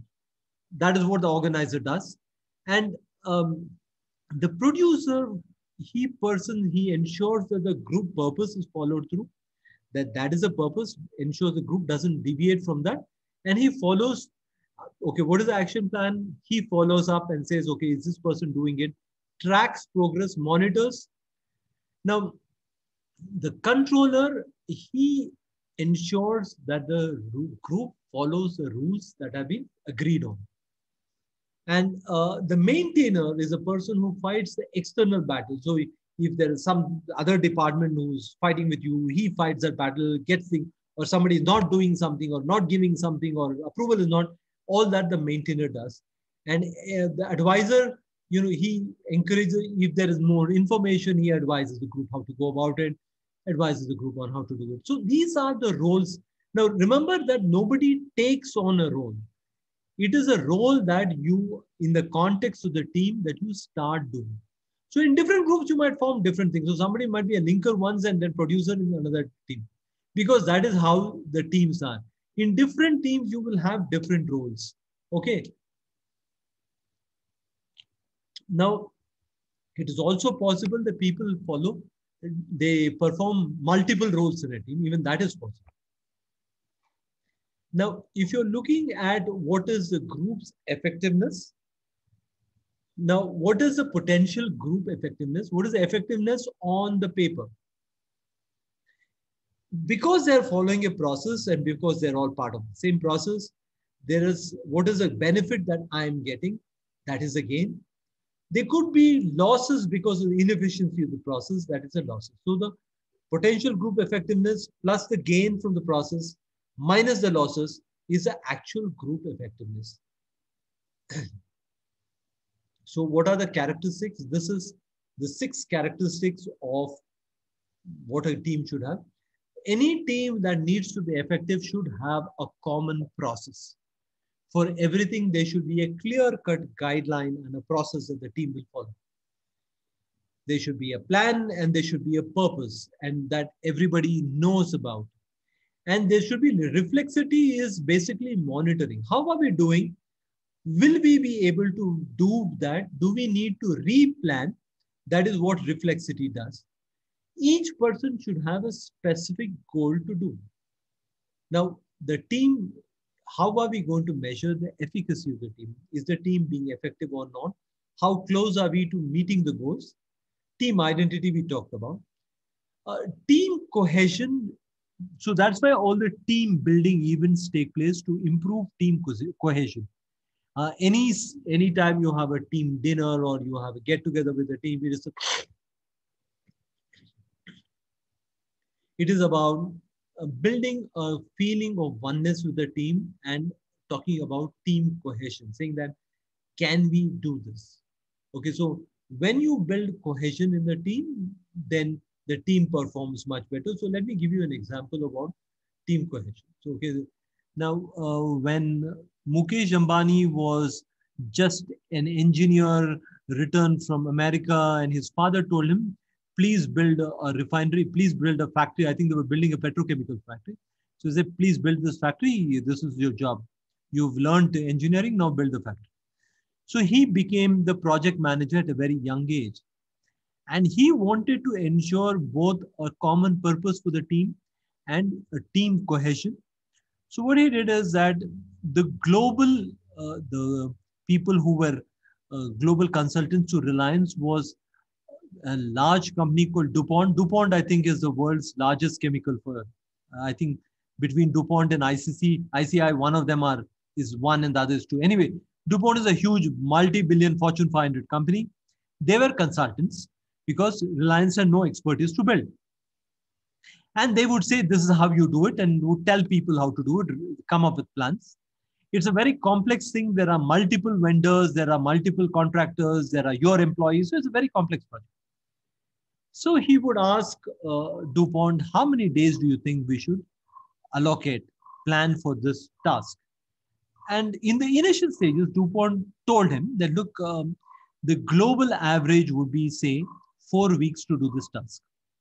But I think you should keep six weeks because your team is is new and you don't have any experience of doing such a project here. So you should uh, typically keep six weeks to do this task. So DuPont would go out and uh, Mukesh Ambani would call a meeting of his, all his reportees, and he would speak to them in Hindi. And he would tell them in Hindi that, you know what that white man told me? He told me that your team is inexperienced and globally they take four weeks to do it and you guys will take six weeks to do it. So the purpose is no longer about creating just a refinery. It is also to show the white man what Indian engineers are capable of doing. So he made this the purpose of the entire thing. He made this the purpose of the entire project. And so the project got completed nine months before schedule. Because uh, each engineer was not just trying to ensure a refinery is built, but also trying to show that DuPont fellow, what does he think? Who does he think he is talking to? You're telling me I will take six weeks. I will do it in three weeks. What do you know about me? That is how teams, you know, how do you, that is how great leaders build teams. That the purpose of doing something should be very clear. That you know we should do, and we should ensure at every time that we do something that is wonderful. When the team has a purpose, it will do wonders. Okay, so uh, they follow different mental models we talked about. Conflict, if there are conflict, different conflict levels, some amount of conflict is good for the for the team. If it gets beyond a certain point, it could get dysfunctional. You could have groups fighting between each other, which is when it needs to be resolved. Social loafing should be avoided, should be dealt with. the purpose is that how do you actually create a team member? And uh, you know one of the main things is that you know uh, all of you are aware of the taj group of hotels? One of the good yes, five star chains that we have in the country. We have taj west end in bangalore. We have uh, the other tajes too about three four of them so are you aware of the taj group yes sir Yes, sir. Now, in a hotel, the largest group of people are people at the lowest level. These are people who are um, people who are waiters, you know, uh, housekeeping staff, security. These are people who are the biggest number. You know, the um, people who wear suits are the less number in, in any hotel. So the Taj group of hotels, they say that how do we select people? Lot of the people they select come from smaller towns. You know, they come from places like say Mandya, they come from places like Kolar, uh, Salem, you know, or uh, some places like that, really small places. So what they do is they ask opinion leaders. Opinion leaders are people who know people in that town. It's a small town, so people know each other. So they ask, say, for example, the principal of a school, saying that don't give me your best student. Give me your most helpful student. Which student do you think is the most helpful? So a Taj group believes that when you are a team player, when you want to help people, it is inside you. That cannot be trained. That is who you are as a human being everything else can be trained. I can teach you how to speak English very well. I can teach you how to dress very well. That can be trained. But I can't teach you whether you are going to be helpful to people, whether you have the right service orientation. That I can't teach you. That should be within you. So they select such people who have exhibited such behavior of being helpful to people. And when you when you select such people and you train them you create an organization where these people you create an organization where there are a lot of team players and they help each other out. So when you're interviewing people along with along with the technical skill check out whether this person is a team player or and one person can disrupt the balance in your team, can create conflicts and fault lines that you never knew existed.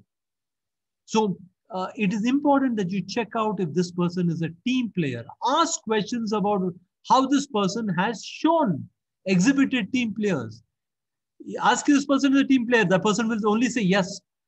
Ask this person to give you examples. You'll be able to gauge whether this person is genuinely a team player or not. Yes, somebody can come up with a lie which is very convincing. It happens, but most people can't. And so you let this one person slide, but please ask such people. when while teams, it is important that it is important that we use teams. We ask that can this work be done by one person?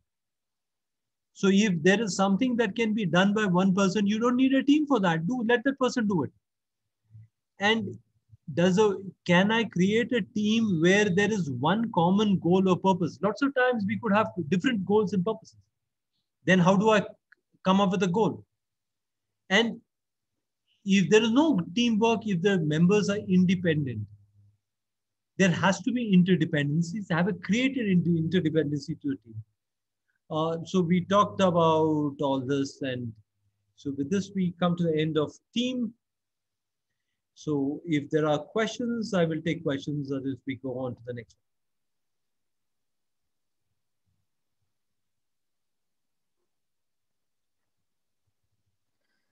Professor, actually, uh, I wanted to uh, share some thoughts on groups when Anil was speaking.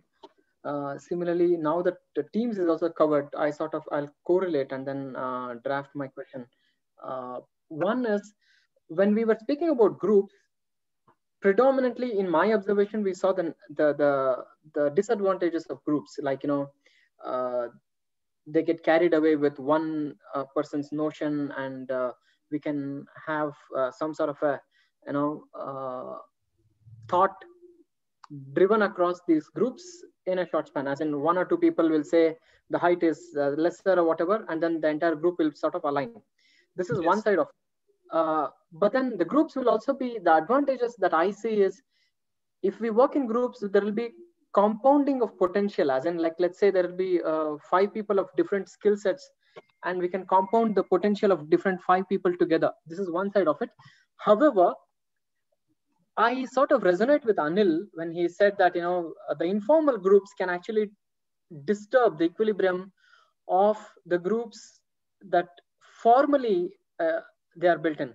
So as a manager, it's a it's a dilemma. So professor, if you can share some thoughts as to how to handle the formal okay. groups. Sorry. Um, uh, let me take the first question you asked. Hmm. Now, again, I'm coming back to that the difference between a group and a team is that group there has to be interdependencies. The interdependencies are less in a group. There has to be complete interdependencies in a team. And there has to be complementary skill sets. Okay so mm-hmm. uh, if you're talking that is the main difference. So you create a you can't just create a team when suppose i take a team with only batsmen a group of people, all my friends are batsmen, so let's form a team. That is not a team. The team needs to, the team definitely needs to have complementary skills, which means that what I have, uh, others should not have, or not too many people should have. So that, that is super. Uh, so that is what is the main difference between teams and uh, see groups are a lot less cohesive teams tend to be a lot more co- cohesive because uh, it tends to be cohesive both by organization design because there is a leader who's pushing for cohesion and also because there is a common purpose. Group purposes could not may be there may not be there. So the, these are some of the main differences. Okay. Okay. Yeah ananta i hope i've answered any other comments before i take the second one on informal groups no, I, I think the first part is pretty clear for me. Uh, I think the objective probably I had sort of uh, half understood. Now I think it's clear. Okay, now um, uh, regarding informal groups, informal groups follow because I like certain people. You can't change it. Yes, absolutely. Now, uh, if there are informal groups who are see, as managers, we might be irritated by certain informal groups because sometimes the informal group behavior could be that we talk loudly or we laugh loudly uh, or we only go for tea and coffee together. Those could be some of the things. So, uh, yes, but um, now the only now you can't stop that from happening. So, uh, don't try to regulate that group. You know, let it form, let uh, you might be irritated you may not like the group but it exists so you can't do anything about it okay. so um, lots of times what happens is that uh, you know people like to have lunch and dinner with whoever they feel like hmm. okay if they like to have it with a team member good if all team members have lunch and dinner together and tea coffee together good you can mandate maybe having coffee together once a day. That could be managed. That is about the maximum you can do. You can't tell all of us are always going to only have tea, coffee together. Uh, then you're going to have people who resent saying, uh, let me have coffee, tea with whoever I want. You might have somebody rebelling against such behavior. Okay. You know, some of, see, I'll take, give you examples of informal groups. Informal groups, of one most common informal group is people who come from one engineering college. How can you change that? Or people who come from one region, one city. How do you change that? Now, you can't say, um, you know, like people from other regions. You can't. I identify when I like people who come from a certain region or a certain city. I will go ahead with that person. I, I'll seek out and become part of that group. I can't change it there can be other groups that form because I like certain people. So about five of us become friends because we like to each other's company for whatever reason. But there could be because of some other reason that we play sport together or we go to the gym together or we stay in the same PG. It could be any reason.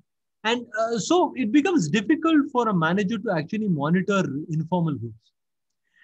My own thing is that let informal groups be uh, as long as it doesn't interfere with the with the main purpose of the group, uh, main purpose of the team, it should matter.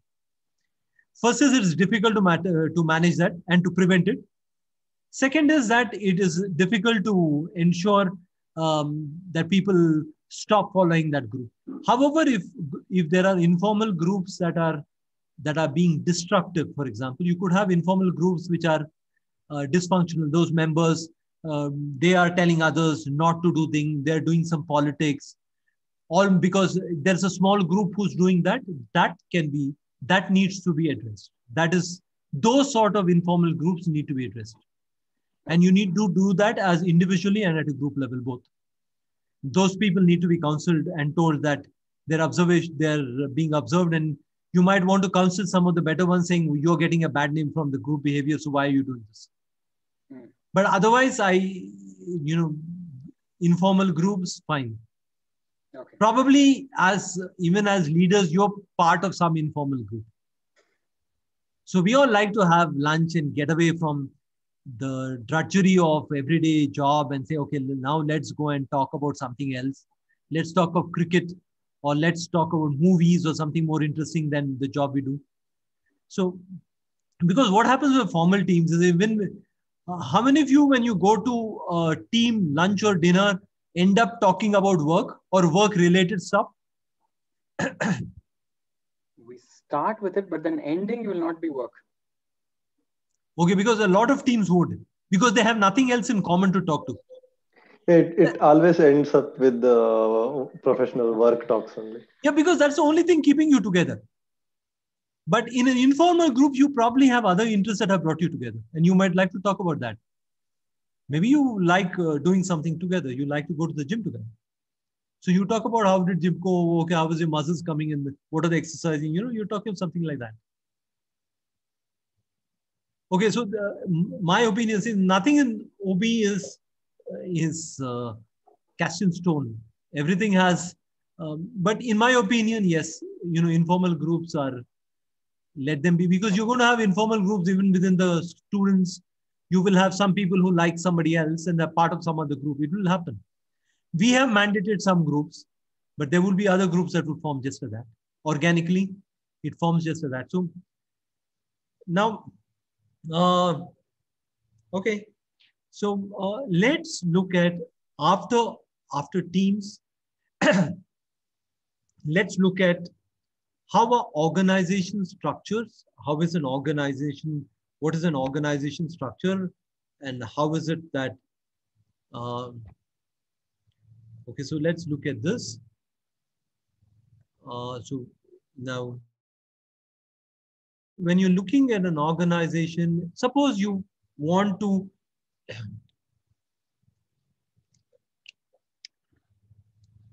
now um, how many so if i have to set up a company from start these are the questions that you need to ask each other Uh, not sharing. Professor, uh, the shared. We are not able to see Okay, the okay, screen, fine. Professor. sorry sorry okay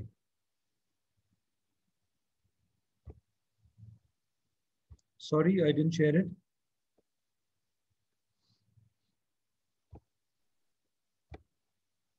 okay so um if you're designing an organization what is the organization structure that needs to be designed? These are the this is what you need to look at. That you know can i can i group activities into one job and say this person will do these activities so that i have work specialization so the accounts person will look after all the accounts related stuff the salesperson will go out and meet customers and bring business for the organization the production person will look after the factory and ensure that whatever is the goods in whatever quantity is manufactured. So you come up with such specialization. And on, depending on how many groups that are there, you then make departments and put all the similar groups. All the sales people are grouped as sales departments. The rest of them are production guys come production, accounts come under accounts, and so on. Now, uh, the chain of command is who reports to whom, and that person reports to whom. So you're coming up with the structure of the organization. And how many individuals can one person manage? Okay, so how much? So those of you who are team leaders who manage people, how many members do you typically manage? How big is your team? Sir, Manjunath here. I manage around nine nine people. Okay, nine people. Okay. Uh, this is Ravi here. I manage around 25. Okay. Yeah, uh, Ravi, it is not unusual these days to find managing 25 people. The uh, management science started off by saying that you should not manage more than seven people.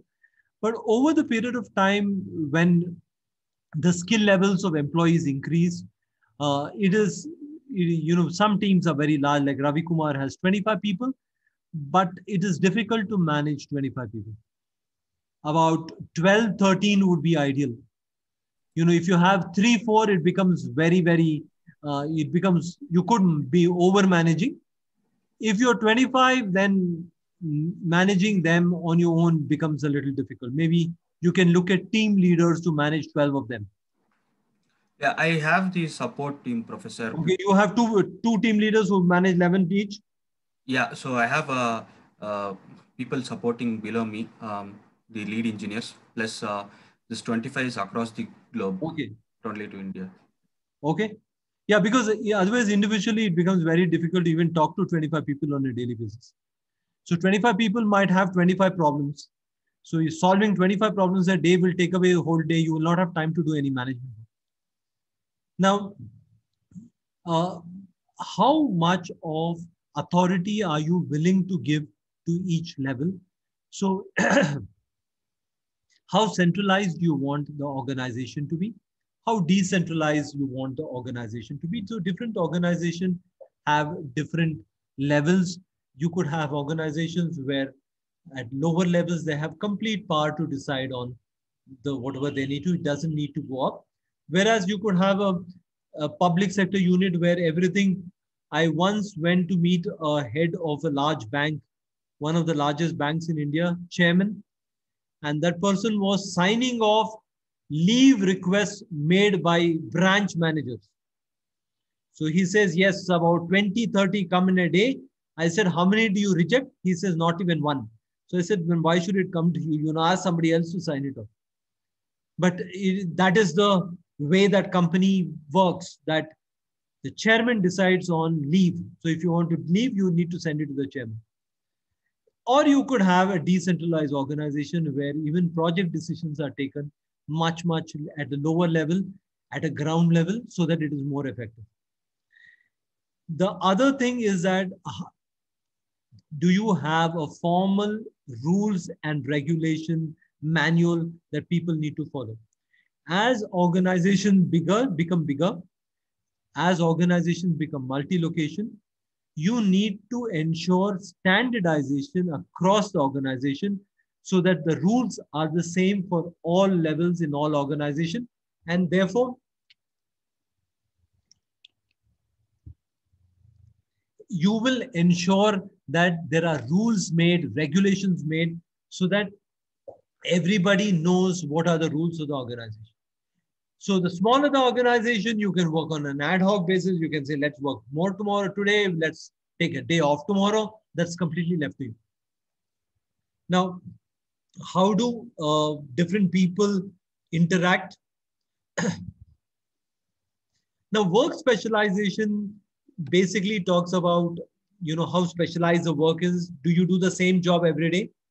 Are you trained to be specialized? And the more specialized people you have, the better work it is.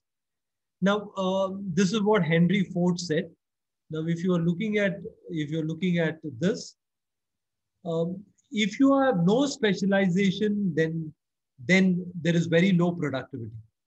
So some amount of specialization is needed. So till somebody comes to this level, you with each increased level of specialization, you have increased amount of productivity. You have high productivity with this.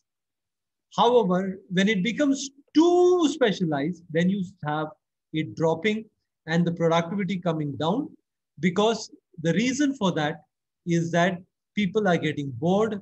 Then you have to think of job rotation. You have to think of all that. So over specialization sometimes creates a problem.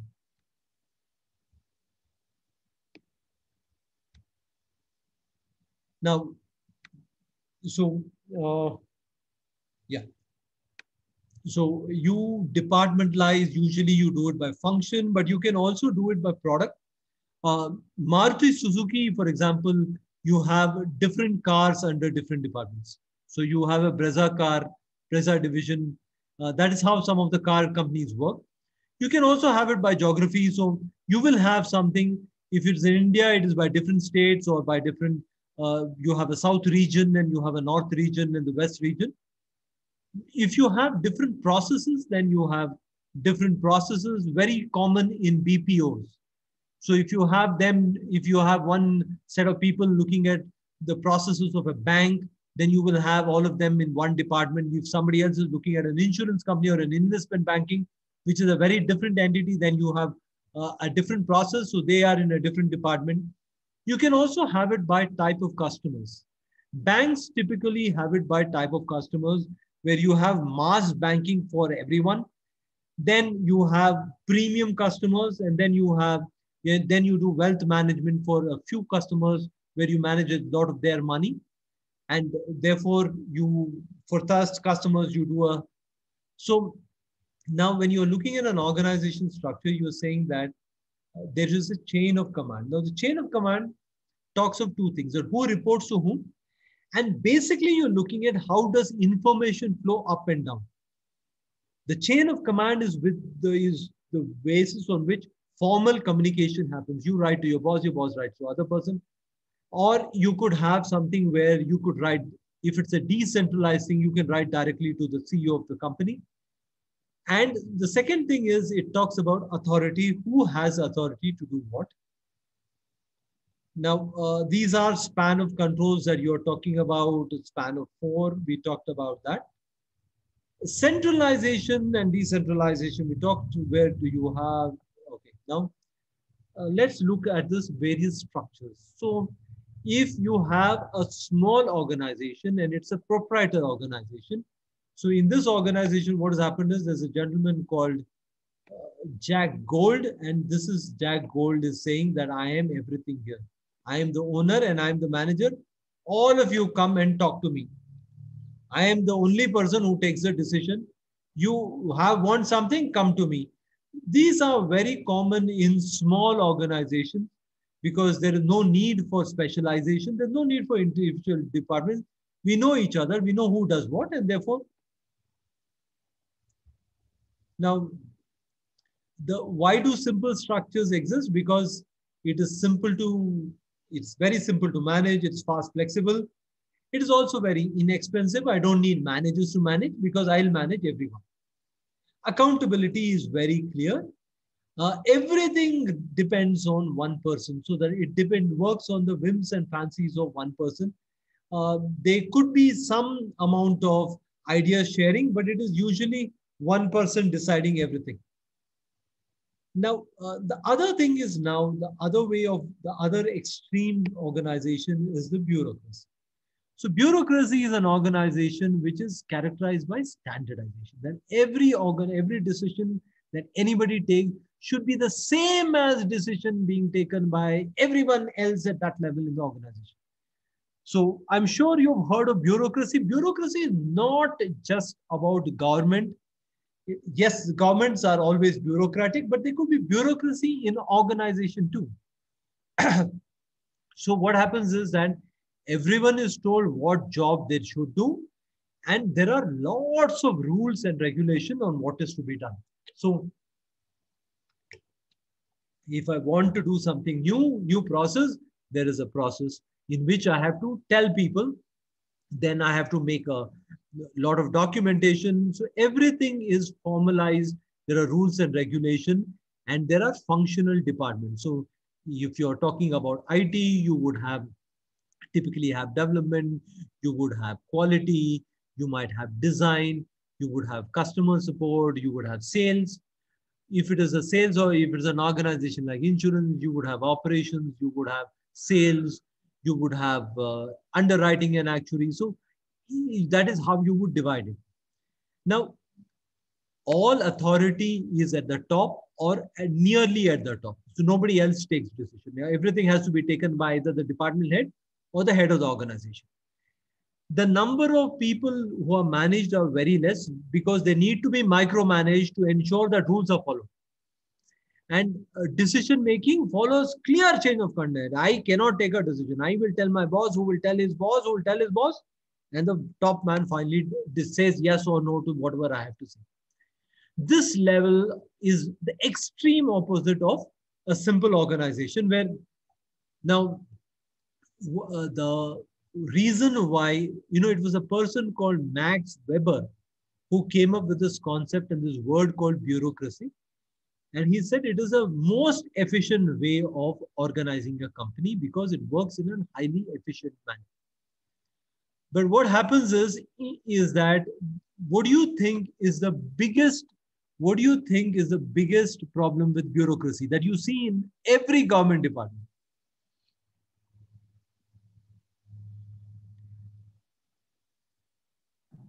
The time it takes to get anything done is too long. Manjunath, you need to speak a little louder. Sir, it's it's corruption. No, but and the why- delay in delay delay in the work that gets done. Yeah, but why does the delay happens? Lack of coordination. No, but more important that is if if the job comes to me, me following rules is more important than getting the job done. Nobody is going to question me if the job is not done. They're going to question me if I didn't follow rules. So rules is more important than productivity. Sorry, somebody was saying something when I cut you off. uh, because of their lack of responsibility to the work is not happening. Yeah, yeah. yeah. The responsibility is only towards adhering of rules. I must follow rules. And as long as I follow rules, nobody can question me. If I don't get the job done, but I have got the followed the rules, the organization say, great job, well done. And they will be very happy with that. That is what happens in the government because nobody is worried whether the job is getting done. They are saying, did the rules are being followed? Did the was the right application form used? If it has to be filled in triplicate, was it filled in triplicate? that is so a bureaucracy becomes uh, you know you have bureaucracies in companies too where rules become more important than getting the job done. And then what happens is therefore the bureaucracy and the person who's running it thinks that they're doing a great job. You're creating a hurdle to everyone. You're not helping people. You're not cooperating with people. You're just saying that look a rule is important so sometimes and bureaucracy is created intentionally. Uh, you know you have audits for exactly this purpose to see if people are following rules and regulation but if you take it to an absurd height where rules become everything then you will have the government department type of functioning where nobody is questioned on productivity nobody is questioned on uh, whether you followed and when did you clear the job that was given to you they are saying did you follow rules? And as long as you're following rules you're god. Nobody can touch you. Okay so that is some of the problems with the bureaucracy. Now uh, what happens is that you have a functional structure. So you have people of similar jobs in one department and then you are divided into you're further grouped into divisions or branches. So all this come under a branch usually. Branches come under regions or divisions or zones. And zones then report to the top management. There so that is how a department happens. So everybody in that department reports to the department head. The department head in turn reports to the branch head or the division head and the division head in turn reports to a zonal head and so on. So uh, typically this would be how a bank would function or an insurance company would function. This is typically how it would be function. Now it is not to say that this is wrong. This is a good method because there is specialization in each role. Uh, what a bank, retail bank does is very different from, uh, from group lending or corporate lending. So you need to have different departments. Similarly, you need to have a credit department to check whether the risk is within the norms. Similarly, you have a legal department to check out whether they're following the law. So it depends on how function the, the departments are. now, um, how many of you work for an IT company? I also. Sanjeev, you. Okay. Mahesh here. Yeah. You work for an IT company? Yes, yes. I work for IT company. Uh, are you in project, Mahesh? Uh, no, we are. I'm in commercial operations. Uh, we do generally uh, we do pricings for the global customers, internet providers. You need to speak a little louder, Mahesh. We are. I'm in commercial operations. We okay, do- you're in commercial operations. Okay. Yeah. Okay. Um, do you follow a project matrix structure or is it a department in your company? It's a department in our company. Uh, we do. We, we also do the small projects uh, where we um, uh, for a bigger customers when they need uh, bigger connections with entire world world connections. There we do the uh, smaller smaller projects, but uh, delivery parts will go to different teams. Okay. Okay. Now, um, see, typically what happens is that, you know, if you're, uh, typically what happens is that there is one, there is one big boss and this big boss has, sorry. So this is how an organization structure looks like. So under this person, you will have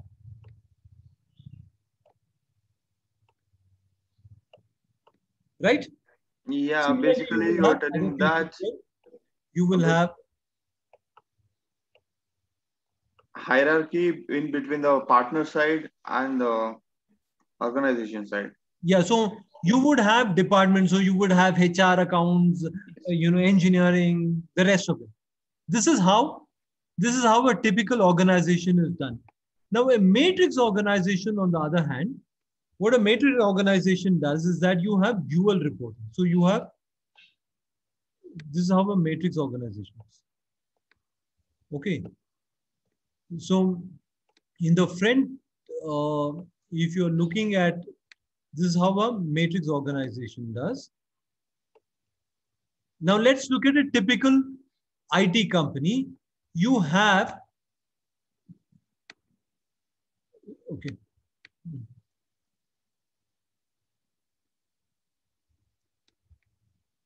Okay, so now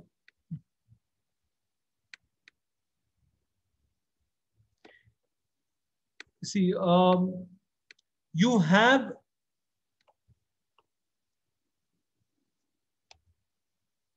so you have uh, say project one.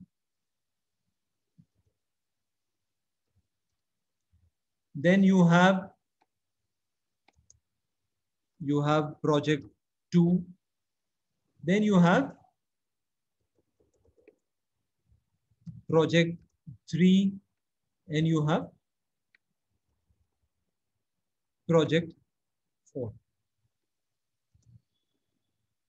Okay, you have four projects. Now, in this project, you will have regular people.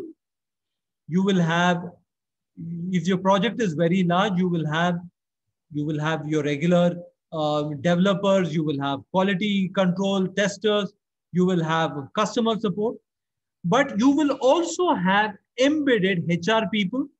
You will have embedded project management people, you will have embedded accounts people. Embedded in the sense they are assigned to your project. So there is an HR person whose job is it is to recruit and ensure that the needs of that organization of that project is completely taken. This HR person reports both to the project manager and to the HR head. Similarly, the accounts manager reports both to the project manager and the head of accounts the quality person reports both to the project manager and head of quality. So you have dual reporting.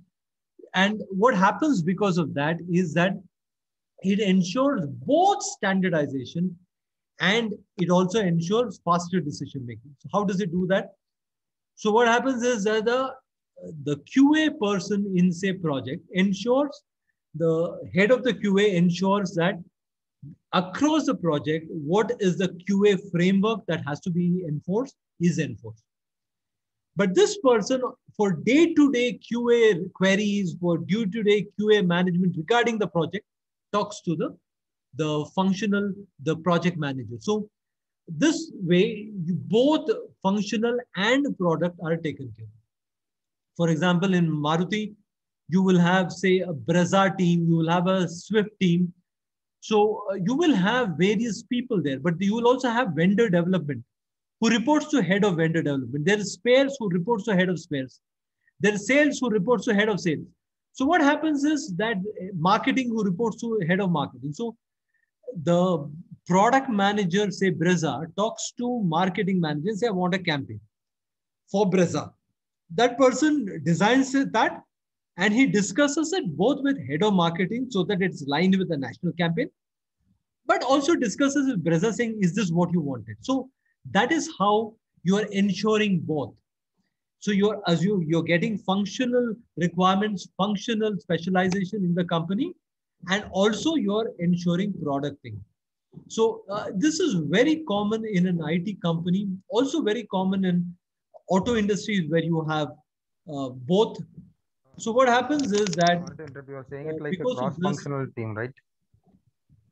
Uh, yeah, somebody had to say something. Uh, yeah, you are saying it like a cross-functional team, like having an individual person for. Uh, See, it is not. It is not just a. It's not a cross-functional team. You're part of the department.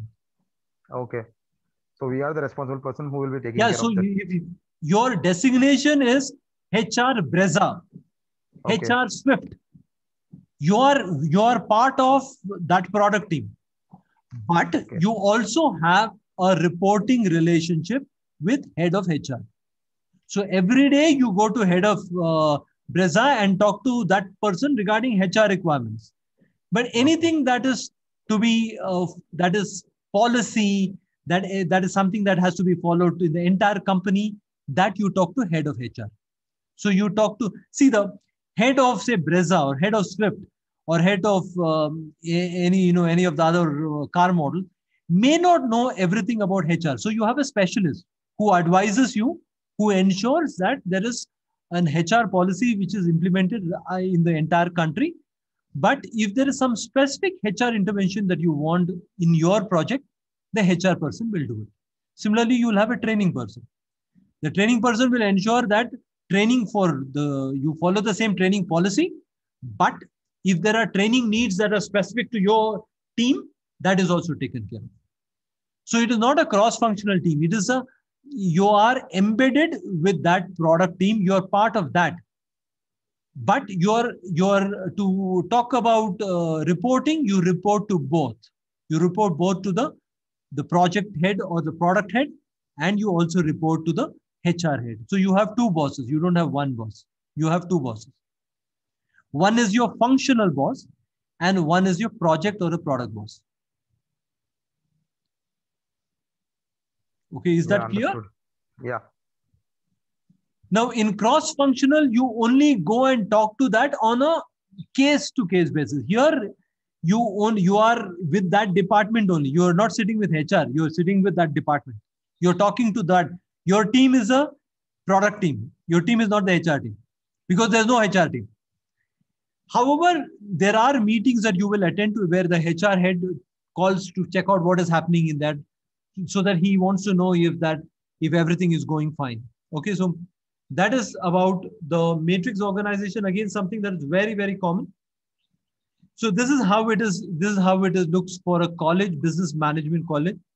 That there's an undergraduate, master's, PhD, all these people. Now these are the departments so i could be say finance i could be teaching finance only to undergraduate but i will have two bosses. Head of finance will also talk to me. Head of undergraduate will also talk to me. So i need to talk to both of them to ensure that it is going fine. So uh, when you have lot of when you have general the manager that is leading the department are generalists and you have specialized departments then you have a matrix organization specialized knowledge specialized decision making happens from the the functional bosses the day to day reporting the day to day management happens by the product or the project okay so this is this is something that has become very common a virtual organization is an organization where you outsource things to a to another organization. So what happens is this is how it looks. You have outsourced it to everybody else, and you manage those outsourced teams to ensure that results are in line with what is where you are expected. So everything that is so IT, you give it to somebody.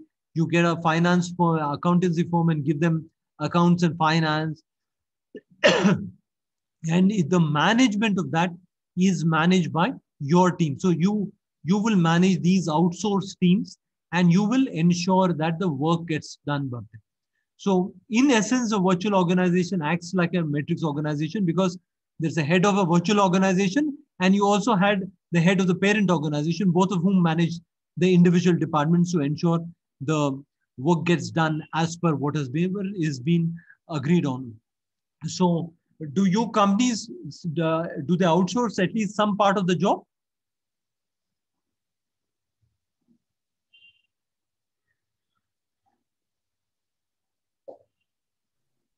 Yes, sir.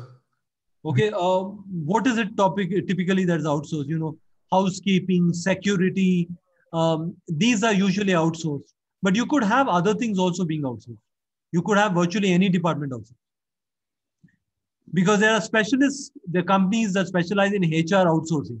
So they will manage your HR.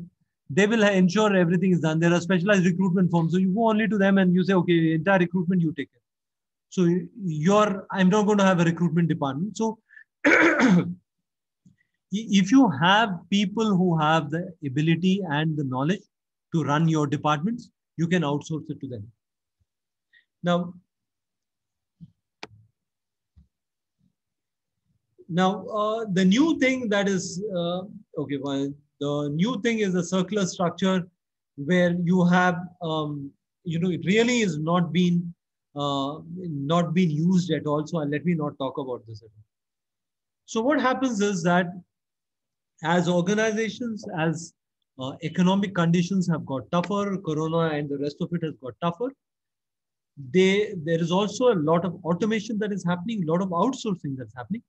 And therefore, organizations are trying to become lean, focused, and flexible. So what they're doing is they're doing something called downsizing. Um,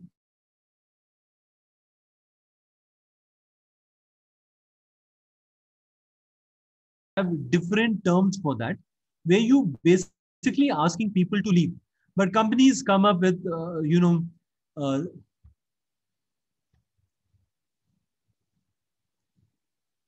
okay, so, um, you know, you could have, uh, you could have very um, fancy words being given for people being asked to go, but and downsizing is when you get rid of certain number of employees. So that is when it happens. It is never a pleasant thing, uh, but organization need to do it because what happens is that sometimes conditions change, sometimes organizations goals change, and sometimes you're trying to pursue something which does not work out, so you want to go not pursue that. So many different reasons why downsizing happens. Okay, but uh, what are the what are the strategies that people use? Okay now these are the things that uh, strategies that people use that there should be an investment of time and effort in when you are downsizing uh, communication should be very clear because it can have a huge impact on uh, the morale of the team because uh, rumors fly fast and thick and then rumors are usually exaggerated and everybody is scared that they're going to be next and that is never a good environment for to get productivity. You know people think that when downsizing happens productivity is high productivity is at its lowest because everybody is scared. Everybody is trying to figure out how i ensure and keep my job. Now um, you could have participation of employees. So you you've had people you've had organizations where they actively involve people and people have accepted things like let's all take a 10% cut in pay rather than uh, downsizing by 10% because we have to save the organization but let's not get people go so people have done all that. And what is the assistance that that the organization gives? So organization increasingly talk to other companies talk to other organizations saying that we have good people. Would you be interested in recruiting some of them? So uh, if i'm a competitor and I'm getting good experienced people, why not? So I might be willing to look at some of them. So basically what happens is that there are two different types of models. We talked about that. The mechanized model is the model that uh, which is highly rigid, that is almost bureaucratic. And the other one, the organic models that we are talking, which is the more recent thing where you have cross-functional team, cross-hierarchical team, and information is now, when you have small organization, specialized organization, you can do all this. You can do work with that. As organizations become bigger, uh, you know, it becomes more and more mechanized. So it, it uh, basically is on three parameters. What is the innovation cost and what is strategy?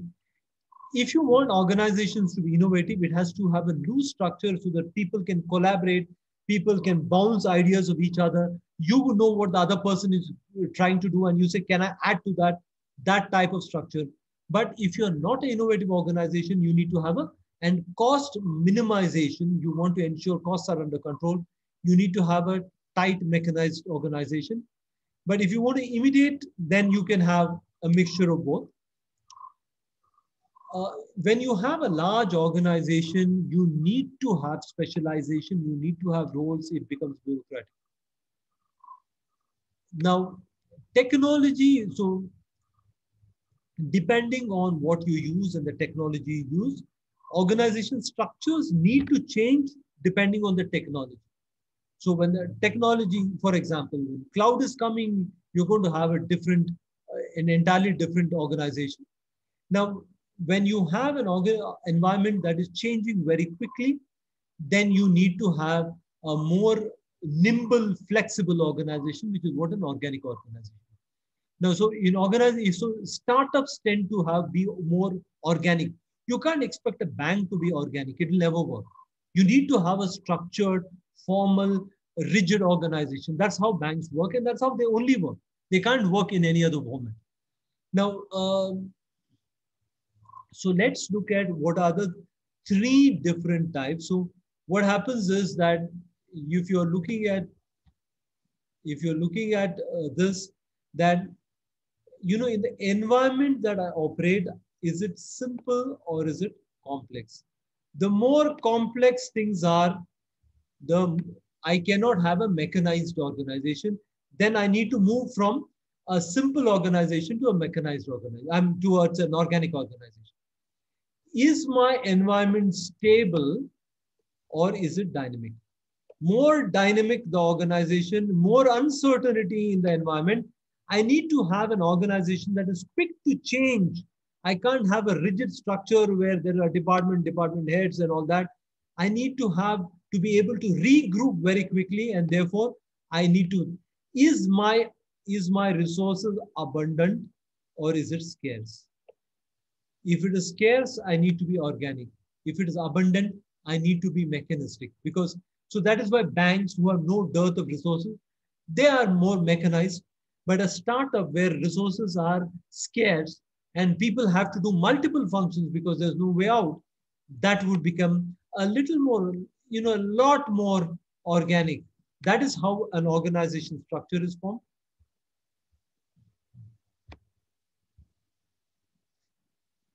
Now, um, lastly, uh, what shapes organizations are about how the company is, uh, what sort of regulatory pressures you have. More regulation means more documentation, more uh, systematic process, rules, regulations. So there are regulators. That's why a bank needs to be, it has to be mechanized. You can't have an organic bank. Sometimes an old company simply does not want to change, which is what inertia is. Culture of the organization, if a culture was that I'm always operating in a state, stable environment, very little up and down, there's always demand for my product, I will be a mechanized thing. I'm not willing to change very fast. And what is the new trends that are there in the market? So what happens is that uh, the trend these days seems to favor a loosely run, organized, you know, an organic structure. That is how startups work. It works very well with certain people. You know, you might, some people might like that because it gives them more freedom. But and also your life is never boring, but it could also confuse people and it could scare people. It is not easy working for a startup.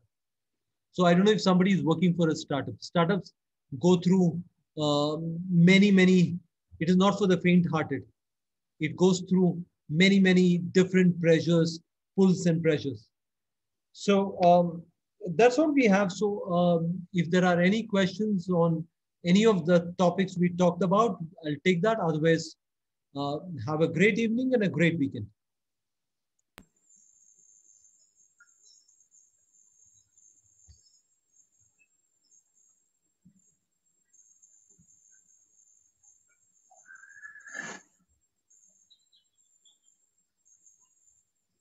Hello या please